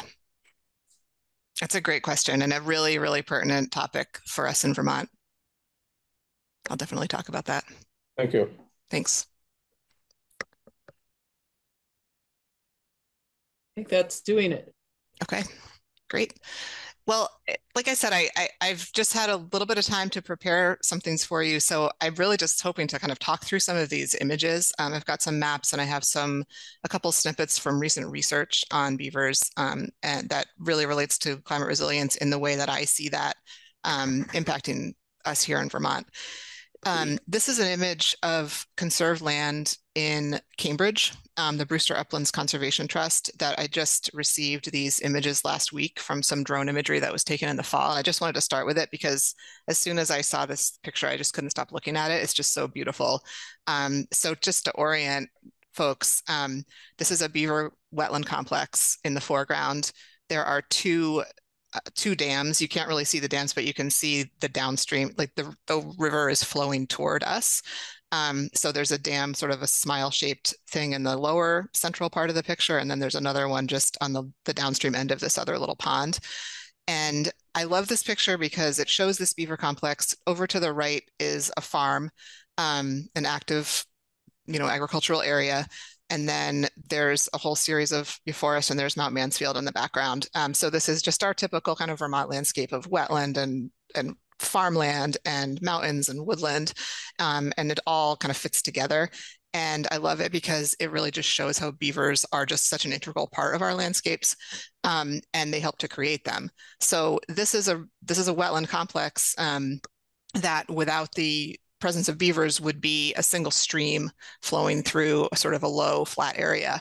Um, and beavers, as I think many of you know, and a couple of you referred to this kind of in your, when you were sharing why you were interested in learning about beavers, that they have been part of our landscape for you know hundreds of thousands of years um, and have really created a lot of the they, have settled in these low valleys and created these wetland complexes that then have so many connections in terms of diversity biodiversity um, but also hydrological impacts um, beyond the wetlands themselves.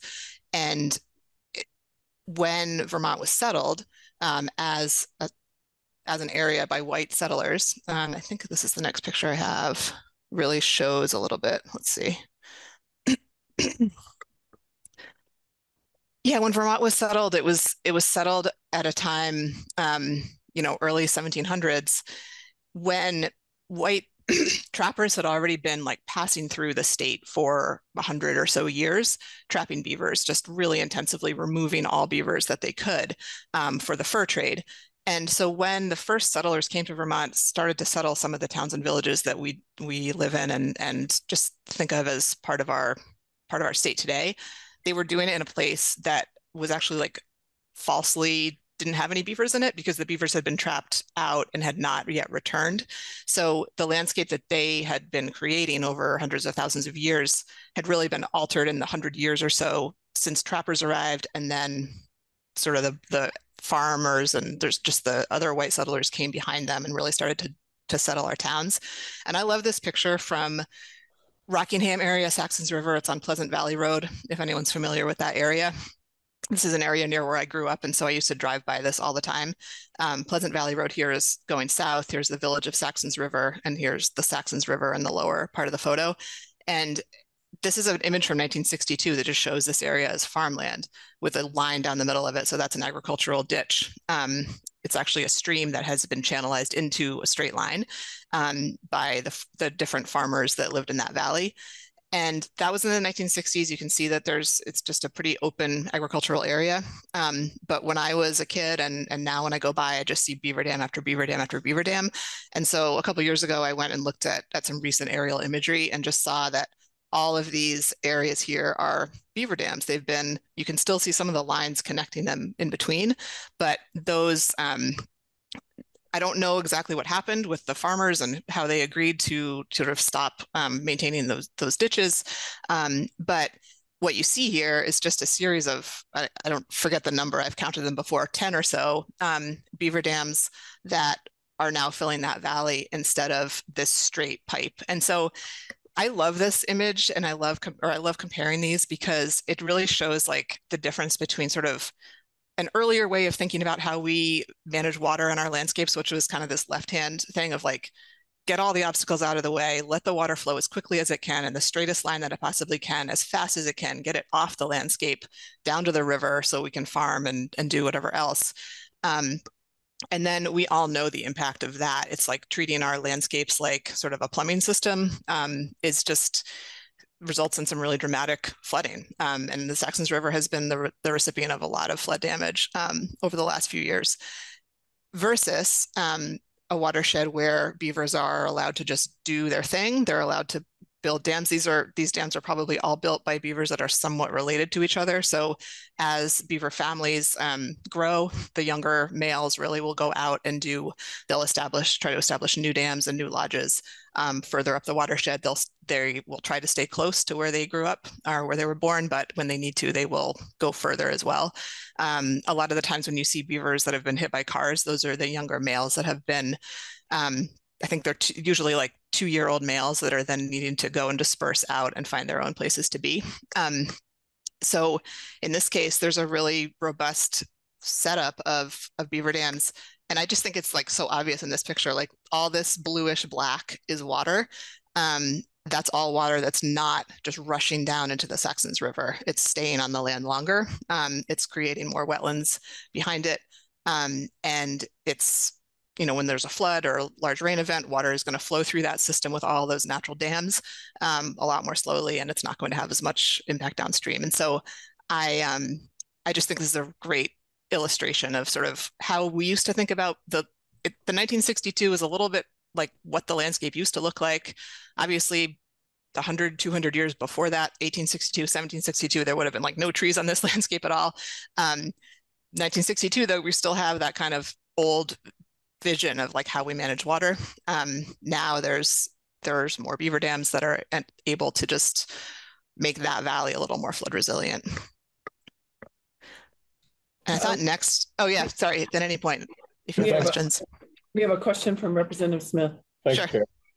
Are all of those beaver dams still working, beaver dams? As far as I know, I mean, that, that image was taken in 1918, or sorry, 2018. So yeah. So every year, it's a really interesting question. Um, they change every single year. So those. Yeah, go ahead. That being said, there are beaver dams that are hundreds of years old. When it's a good place and a like, think about like if you were a beaver where you'd build a dam, it would probably be in a narrow constriction of a valley. So those kind of like prime spots are maintained over time. And there, there are some beaver dams that have been seen, they've been documented by like early explorers um, in parts of Canada and the US, and then they're still there today. They were mapped by some of the earlier, earliest white surveyors. So they can persist over a long period of time. They can also be built and destroyed very quickly. Um, and I think I have a picture later in here of one that I observed near my house in Jericho that was built on the Browns River that got destroyed like two weeks later when the when there was a big rainstorm. So but those dams and Saxons along the that Saxons River tributary um, have been there for a long time, and the bigger ones at least are much more persistent. Thank you. Yeah, you're welcome. Um, I wanted to just share there's there's very interesting research happening right now. Um, not so much of it in Vermont, but it's very applicable to Vermont. So I just wanted to share two different pieces of, of research with you, or from two researchers.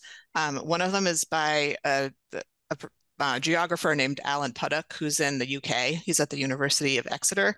Um, and he did some really interesting research about, like, you know, what I just showed you was sort of, it's very intuitive, right? You see a straight line versus you see a bunch of dams. You can think, oh, the water's going more slowly. Floods are going to be less impactful in the in the area with the beaver dams. He actually quantified that and and showed that yes, um, beaver dam complexes do mitigate the impacts of floods. Um, and so he studied an area in England. Um, this image up on the left is just the overview of his work. Um, an area that was did not have beavers, and then beavers, I think, I believe, were actually introduced, and then they started to build dams. So you can see this image on the left, upper left, is the first one is from 2011, and then this bottom picture is from 2014, and these black lines that kind of weave through each one of those is a dam.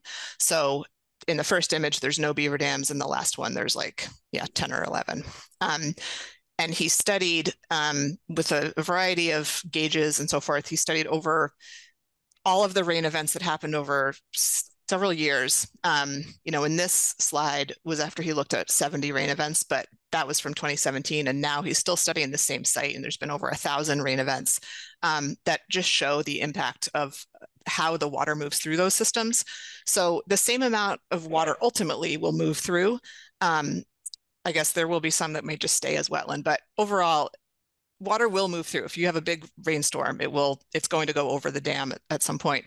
But what he showed is that those spikes of um, the flow were a lot lower in the systems where beaver dams were. Um, so this is really general, um, and I and this is obviously not my research, and um, but I just wanted to show you. I think this is a really telling graphic where, and this is a slide from from a presentation that he did.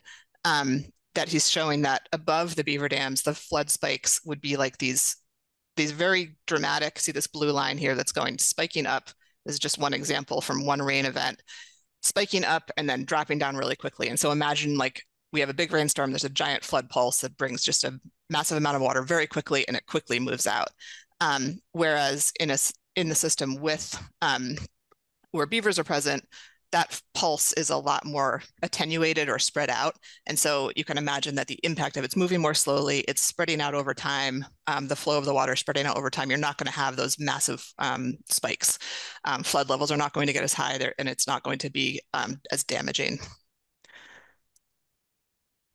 And then this is like, I will share these slides with you. I know this is, we don't need to read this. Um, this is an image on the right of that dam on the Browns River that I that was there for like two weeks um, and then immediately got washed away. But even though it got washed away, there was still a lot of wood in that system from the dam. That was great. Um, but basically, this abstract from his 2021 paper about the same site, um, he's got a couple of really important pieces in here.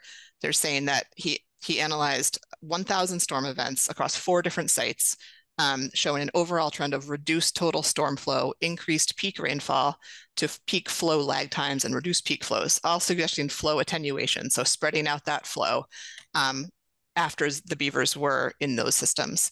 And then there's some statistically significant. And then the final um, statement is just this research indicates that beavers could play a role in delivering natural flood management. And I think, you know, those of you who are, observe beaver systems, I think this again is pretty intuitive that you have these systems where water is able to slow down, it's able to spread out, it goes further out in the valley than just straight down it like a pipe. Um, that's all going to help when we have um, large rain events. And I wanted to just do a quick um, exploration through a tool that we've developed at Vermont Land Trust called our Restoration Viewer. Um, and again, I'll share this link with you if you want to do this yourself, but I want to just uh, explore it with you like live. Um, this is an online ArcMap um, map viewer. And starting just before I jump into it, this is an aerial image of the Charlotte Park and Wildlife Refuge, which is a, a conserved piece of land in Charlotte, um, open to the public, has a great network of trails. Um, there's some really interesting wildlife restoration work there that I've been working on with that local committee um, and a really beautiful beaver dam complex. Um, and just to give you some context, this this is Greenbush Road, this road here that's going through the middle of the photo. The beyond, you see the lake. So we're really close to the lake. There's the Adirondacks beyond. Um, and this this beaver complex is the one that I, I'm going to show you a couple different years of its um, of what it looks like when beavers were less active and then when they've become more active, just so you can see some of the impacts of what they do. Um, and I'm going to need to, let's see, jump out of this and move to my web viewer. So this viewer is um, showing that site. So this is oriented north to south. Um, this is Greenbush Road over here on the left. This is the railroad um, kind of crossing Greenbush Road right by the property. And we have old um, black and white imagery from like 2011 um, underneath. And then I have some really high resolution, more recent imagery from 2021. And I also have some from 22, but I'll, we'll just work on 21 right now. Um, so to zoom in on this, you know, this is a, a beaver wetland or a wetland that has had beavers in the past, but in this image from 2021 or sorry, 2011, um, you can see just a blue line and also just the actual black kind of line of the stream winding through. There's a little trail. This is one of the, the boardwalks from the, the walking paths across the system and going through here. And this, it just kind of winds around. It's in the middle of a big wetland complex, um, but you don't see a lot of evidence of beavers. Imagining when there is a big storm event, there is going to be some flood storage in this system just because it is a wetland, but in general, water will just move through that stream and just move right out, go under the railroad tracks, under the road and off toward the lake. Um, but by 2021, um, the reason that I got involved with this project is that the town committee was really seeing a lot of beavers being active here and they wanted to talk about that. So I went out and visited um, the site and then we got this imagery. Um, I and I'm just swiping back and forth here. So what you're seeing is just the 2021 imagery kind of coming over top of the 2011 imagery. See the difference here is that a a large beaver dam has been constructed right here um, on the left side of the picture where my cursor is. And we can zoom in and actually see the sticks of it and stuff, but I'm gonna give you the overview first. Ponding a bunch of water behind it. Water is still flowing down below it um, before it goes under the railroad tracks. And then as we go upstream, there's just a number of smaller beaver dams. And so the system has become less of just like a big kind of grassland and more of a really interesting, diverse wetland system that has areas of open water, areas of grasses, areas of shrubs, and then connecting all of it to the forest alongside of it. Um, the forest obviously being a source of wood for those um, for those beaver dams. So I'm going to zoom in a little bit and let you see a little bit more of kind of what I'm talking about as this as the resolution kind of catches up with me. Um, I think that it's just I am always marveling at these images because you can even see like branches of the trees and like fallen trunks that are in the water. But here's that beaver dam. Um, and then as we kind of wind our way up this main channel, you quickly come to another small beaver dam right here. There's another one right here that's kind of shaped like a U. Um, there's another one right over here. So what's interesting is that as the beavers are starting to dam, and this is a very small stream, you know, you could jump across it in a couple steps. As they're starting to dam the main part of the stream, water is obviously still flowing through. And so it's it's ponding behind, but then sometimes it's also flowing around, which creates just a, a really interesting wetland complex that has multiple channels. The water isn't just confined to one kind of one channel. Um, that also helps to slow the water down, also helps to create habitat for more, you know, macroinvertebrates, amphibians, um, birds. There's a ton of really interesting migratory birds that use this site. And this is part another project I'm working on with these mm. guys. Um, beavers are really creating this system.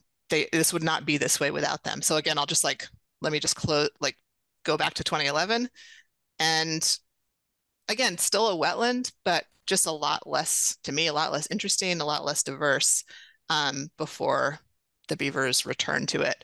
And the cool thing about this site is that it's not a place that has any kind of conflict um, with people because it's a wildlife refuge. Um, the valley is totally contained within the site. So it's not that, you know, the, the beaver damming is not getting into anyone's yard or a driveway or anything like that. Um, and it, it just continues on up if you, if I kind of go a little bit further upstream in the valley, I can see there's the trail that crosses again. Um, you can see a series of other small dams here. There's one. Um, here's a larger one that they built. And one thing that I find really interesting about beavers, and I just learned this recently, is that we all, I think, are familiar with the dams. Um, we've seen them, we kind of marvel at them or we're frustrated by them, but depending on where they are and, and what our sort of outlook is. But I have just recently learned more about, you know, why beavers build dams and what are the associated construction methods that they use. Um, so obviously they're building dams to to impound water. Um, and they're doing that in part because the food that they prefer to eat, so willows mostly, um, just fast growing shrubs that actually respond really well. When, you know, they have multiple stems. When a beaver comes in and chews down three or four of the eight stems on a plant, that plant will just respond by growing five more. So, you know, they're coppicing, the, that the term for when a, a plant has multiple stems. Um, willows are natural, naturally coppicing plants, and then beavers have co-evolved with them, and so they're just they're coppicing again once beavers are doing that. Often I've seen the other thing about about willow is that you can cut a stem of willow and just stick it in wet ground, and it'll just grow. It'll root and produce leaves and turn into another plant.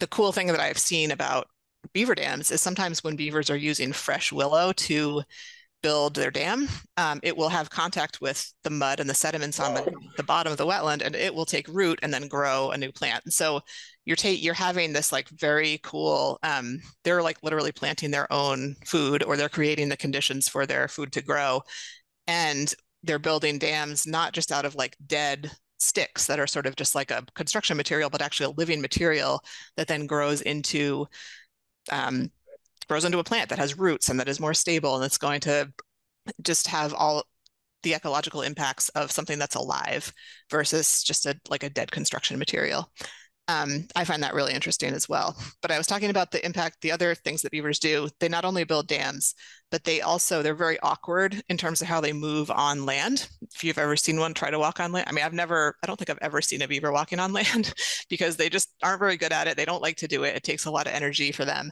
They actually prefer to swim and move around in the water. So they also excavate these canals. And so like right here um, on this image behind this dam, here's the dam, but then here's this little channel that goes to the edge of the wetland. Um, that's a canal. And so for every dam that they build, they will probably build multiple times that length of canal behind the dam. Um, and that helps them get to the edges of the wetland to access um, wood, more trees that they to cut down. Um, and also just to move around more easily and and to have some shelter from um, from predators and so forth. So and, and again, as we start to like look through this image a little bit more, some of these things start to pop.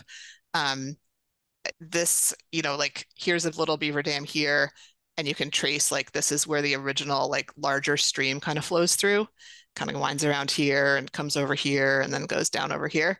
There's the canal there. Um, there's also like a little bit of a canal over here that they've built to like connect these places. Um, there's some channels out here that have been excavated. So they're just, it's just cool how they kind of like, and, and all of those canals can also be used for, by other organisms. So it's very interesting how they're just building these very, very complex, um, very ecologically rich wetlands. Um, I should say too, in terms of when they're creating spaces for plants like willows to just continue to grow and then get kind of harvested for their own food or their own building materials. Um, that's obviously plant material taking up carbon, um, storing carbon as well. Um, so yeah, one other thing I wanted to whoop, zoom out here to show you on this site is the way that people have been trying to coexist with beavers. Um, oh, here's a really some really good canals here. So downstream, there's some ones that are just going off to the sides of the the complex. Um, yeah, somebody mentioned that beavers can be pretty challenging when they're not in a place that has enough space for them. um, and you know, when we think about our state and when it was settled by people who arrived when beavers weren't even here at all, we, you know, our the first those first white settlers really um, settled in places that if beavers had been here, maybe we wouldn't have settled people wouldn't have settled in those spots. Um, lowland areas, river valleys, very fertile areas, fertile because of the the legacy of the beavers who had been kind of maintaining wetlands there. So it's not a surprise that a lot of times the places that are human settlements also conflict with beavers because we're kind of looking for the same thing, like low lowland areas, access to water, fertile soils, that kind of thing. Um, and we can talk more about that.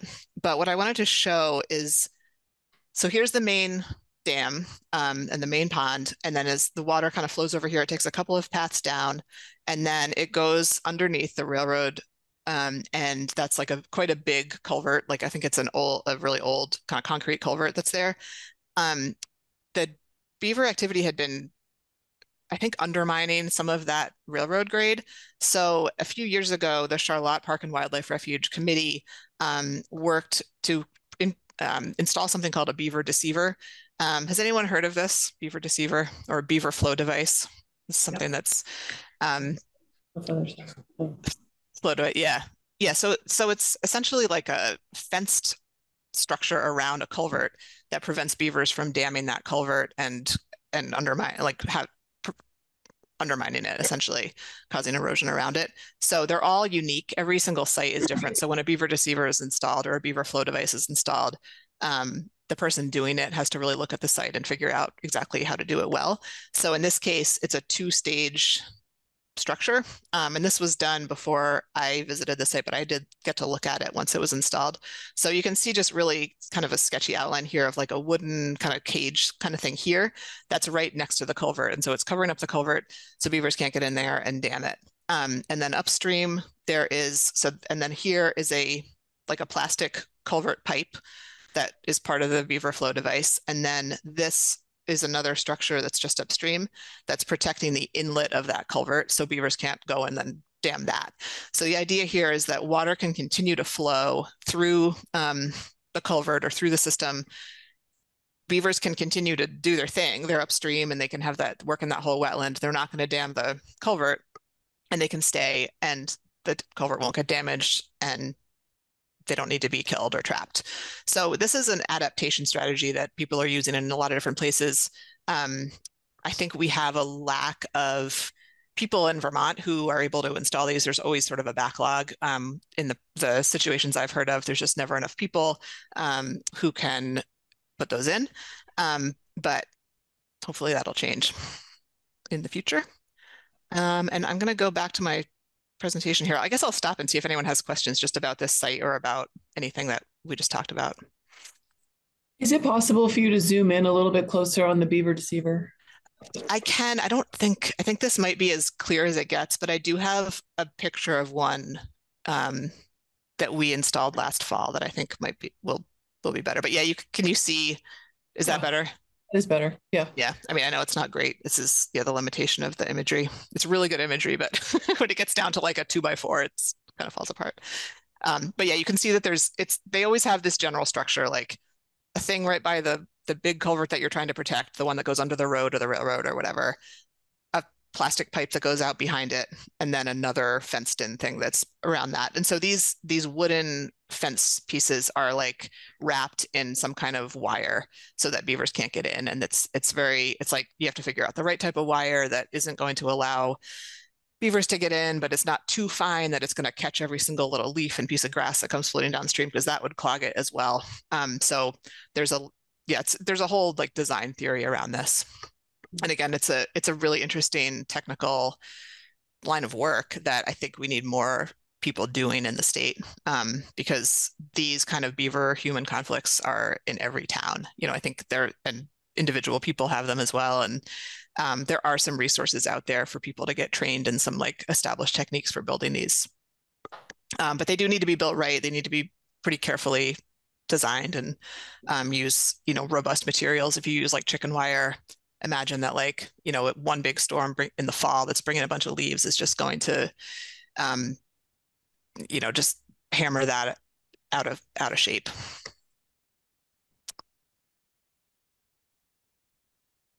Any other questions before i jump back to the last couple slides?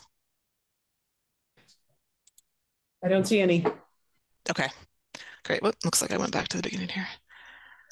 Um yeah, I wanted to share just again, this is just a like the title slide of another presentation, but I will get you this link um, when I share my slides here.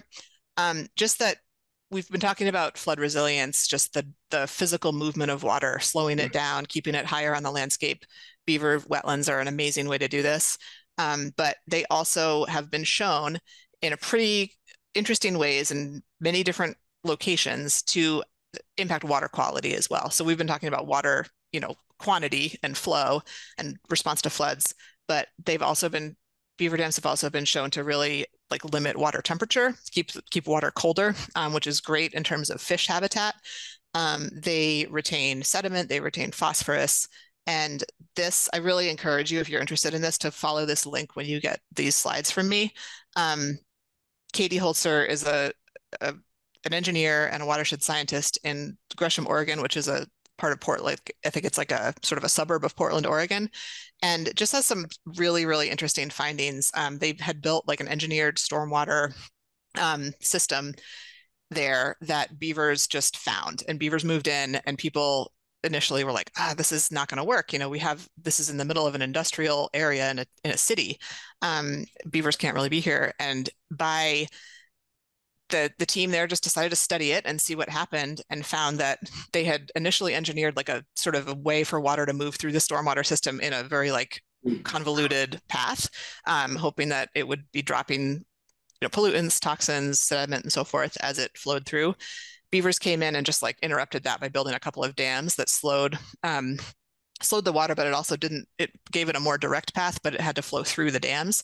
Um, they the beavers were initially trapped and removed from the site, but then they came back. Other beavers came back, and the team studied this and found that yeah, the the water was colder. The water was didn't have as much phosphorus. The sediment had dropped out.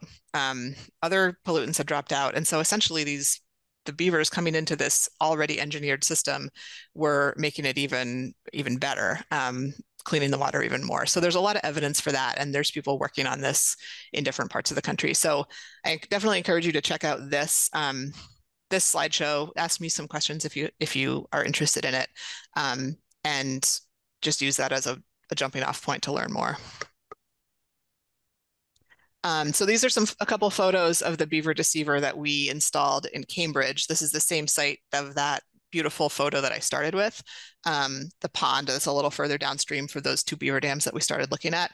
So um, this is Skip Lisle, who has developed a, a, design for the beaver deceiver. He is kind of, he lives in Vermont. Um, he's considered like a mentor to a lot of people who do this work in other places too. But so this um, it's actually a man-made dam that you can see in the lower right. It has a couple big culverts, and beavers have been continually going there and damming them, and that's um, causing some issues for like a farm operation that's nearby. So we decided to put in the beaver deceiver. Um, partly because it's also a really great place for people to come and like look um, and see it, and um, it's right by a road and a great place to have events and, and education.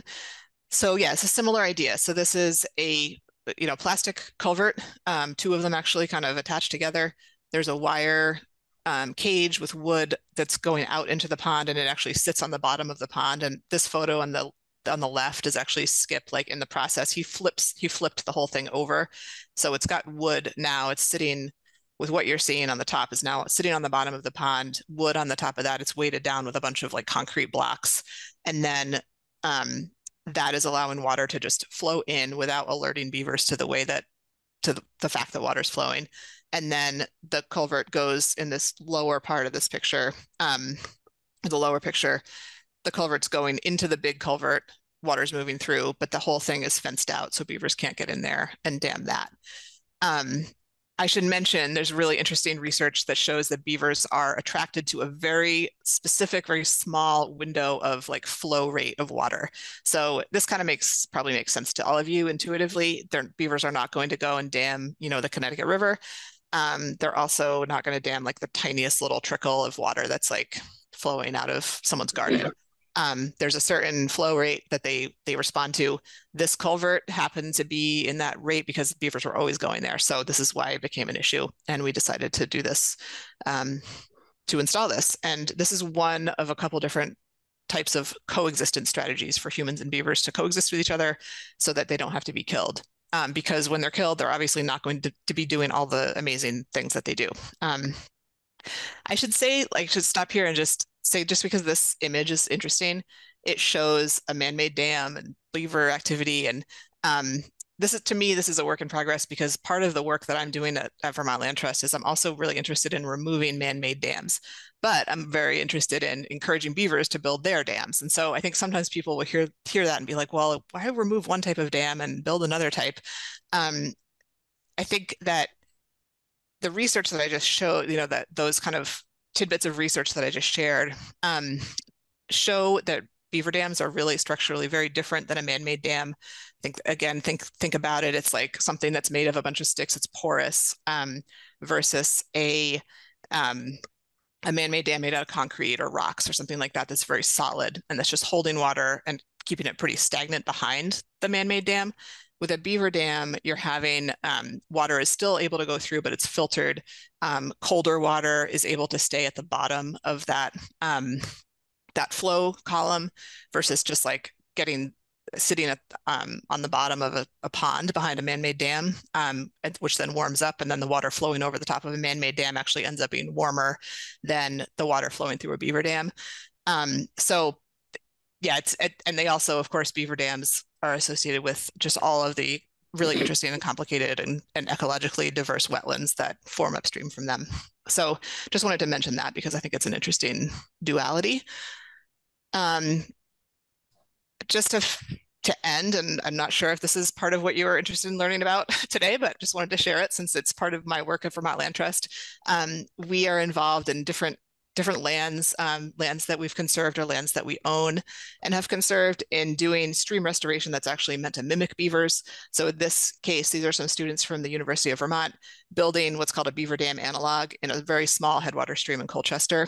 Um, they're using buckthorn posts, so invasive buckthorn um, that had been cut the year before, hammered into the ground, and then weaving willows between them um, to make a small beaver dam looking thing. Um, and this has actually been really effective in terms of slowing down water when we've had big rainstorms and letting it go out onto the, the small floodplain that's next to that stream. Um, so that is just another piece. And I think I maybe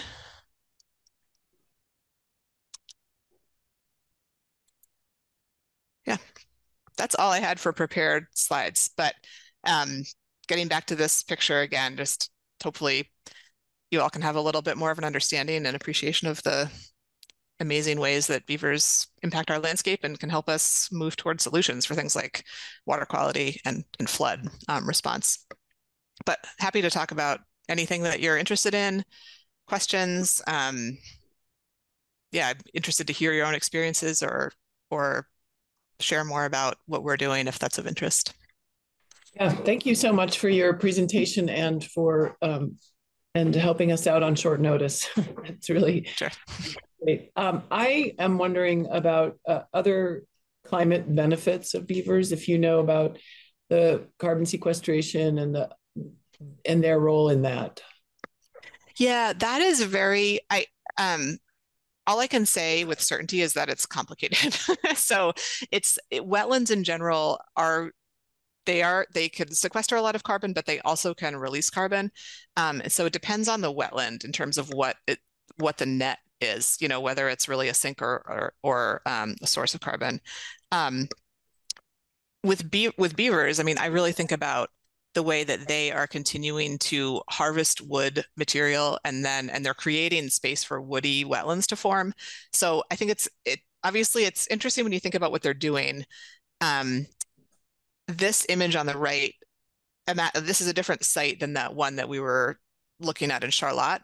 But look how the beaver dam is you know it's open water and then it's kind of some herbaceous stuff right behind it but then this whole area between that one and the next one is all shrubs so that's all wood and as we know wood is a great place where carbon is, is stored and sequestered it's actively growing sequestering more carbon as it grows and it's actively being eaten by the beavers and so they're cutting it cutting it down it's growing again and so it's just like taking up more and more and more it's a lot more woody plants um, in general my understanding is that they are better at sequestering carbon than herbaceous plants. i Do not quote me on that necessarily, um, but obviously they're bigger, they're more robust, there's more structure there, more carbon to, to take up.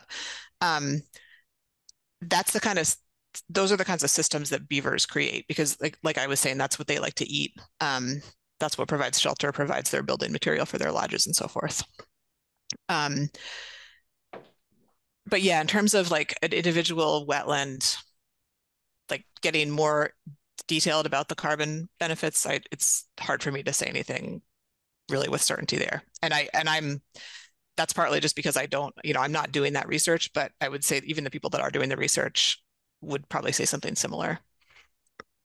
Thanks. Um, and then also their just overall role in biodiversity. You've touched on it some, yeah. but they're really creating a lot of habitat for a lot of different plants and animals out there. Absolutely. Yeah. Incredible uh, contributors to like, well, they're creating ecosystems. And so they're creating complicated ecosystems. And so all of those places are places where you're going to have a diverse suite of animals, plants, fungi um, developing.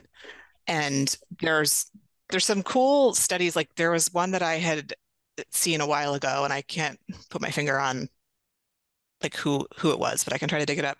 Just talking about some of the the ways that beaver the cycles of beaver dams um, being created and falling apart you know if beavers are moving on is actually very similar in terms of a time frame to the cycles of some amphibians that need vernal pool type habitat. And so there's, you know, you think about like a spotted salamander or a wood frog.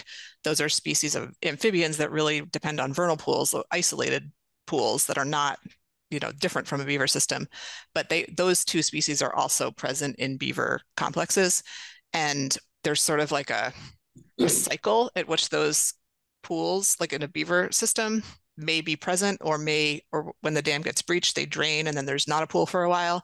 It's actually really similar to how vernal pools can behave and up in the woods where some years they're full of water and the amphibians can breed and and mature some years they don't and they're just they're dynamic and and they're um yeah they're, they're just unpredictable. Um but there's some kind of tie-in with like the the lifespan of a vernal pool versus the lifespan of a beaver wetland and some some things about the life cycles of the those amphibians as well. Um, that's one thing. I mean, bird, migratory bird habitat, they're creating these incredible shrublands full of alders and willows um, that provide just amazing um, native places for migratory birds to nest. There's a lot of birds, especially some of the warblers, um, that are threatened declining um, in population that really depend on shrubs um, with trees nearby. So like the golden winged warbler and the blue winged warbler are two that I've worked on with the Audubon Society. Um, places like this where you have shrubland, um, you have water nearby and you have trees nearby provide kind of this like perfect system for like the nest, the, the shrubs provide the places for the nests to be. Um, the trees provide places for perching and, and finding food. These are insect eating birds. Um, the water obviously provides needed water.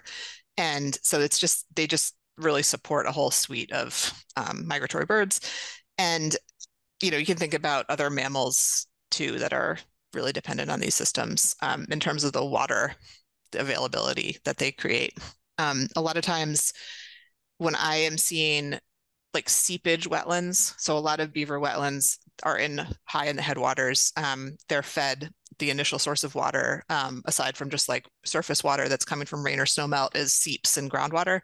Those are places where the water emerges to the surface, and it's it's a pretty similar temperature all year round. It doesn't freeze because it's so deep in the ground. Um, those are places that green up really early in the spring, and so you see animals coming out of hibernation, like bears and so forth. They they are preferentially coming to those places. They're coming to the edge of beaver wetlands um, to feed, and so it's like the first feeding um, that's so important for them. Come to a place like this before um, food is available elsewhere. I could go. I mean, there's there's so much more, but those are just a few examples that pop in to my head. Yeah, that's great. Do other members have questions? No. So I um, have spent some time with lots of Beaver fans this summer, and one person is Beverly Soychek. She's from Monkton, and she's mm-hmm. really demonstrated how towns can save money with beaver deceivers. And they've um, year over year, they're saving thousands of dollars managing beavers differently there where they can.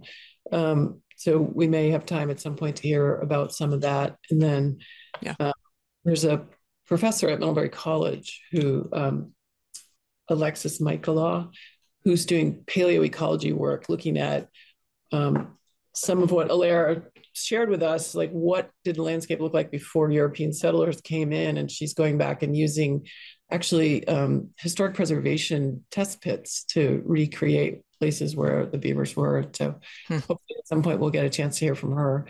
Um, she's doing really interesting research on that. Thank you so much again for coming in and sharing your passion for and interest in and knowledge on beavers with us today. You're welcome. Yeah, and please reach out if anyone has any questions. Um, allaire.vlt.org. Happy to to um, follow up.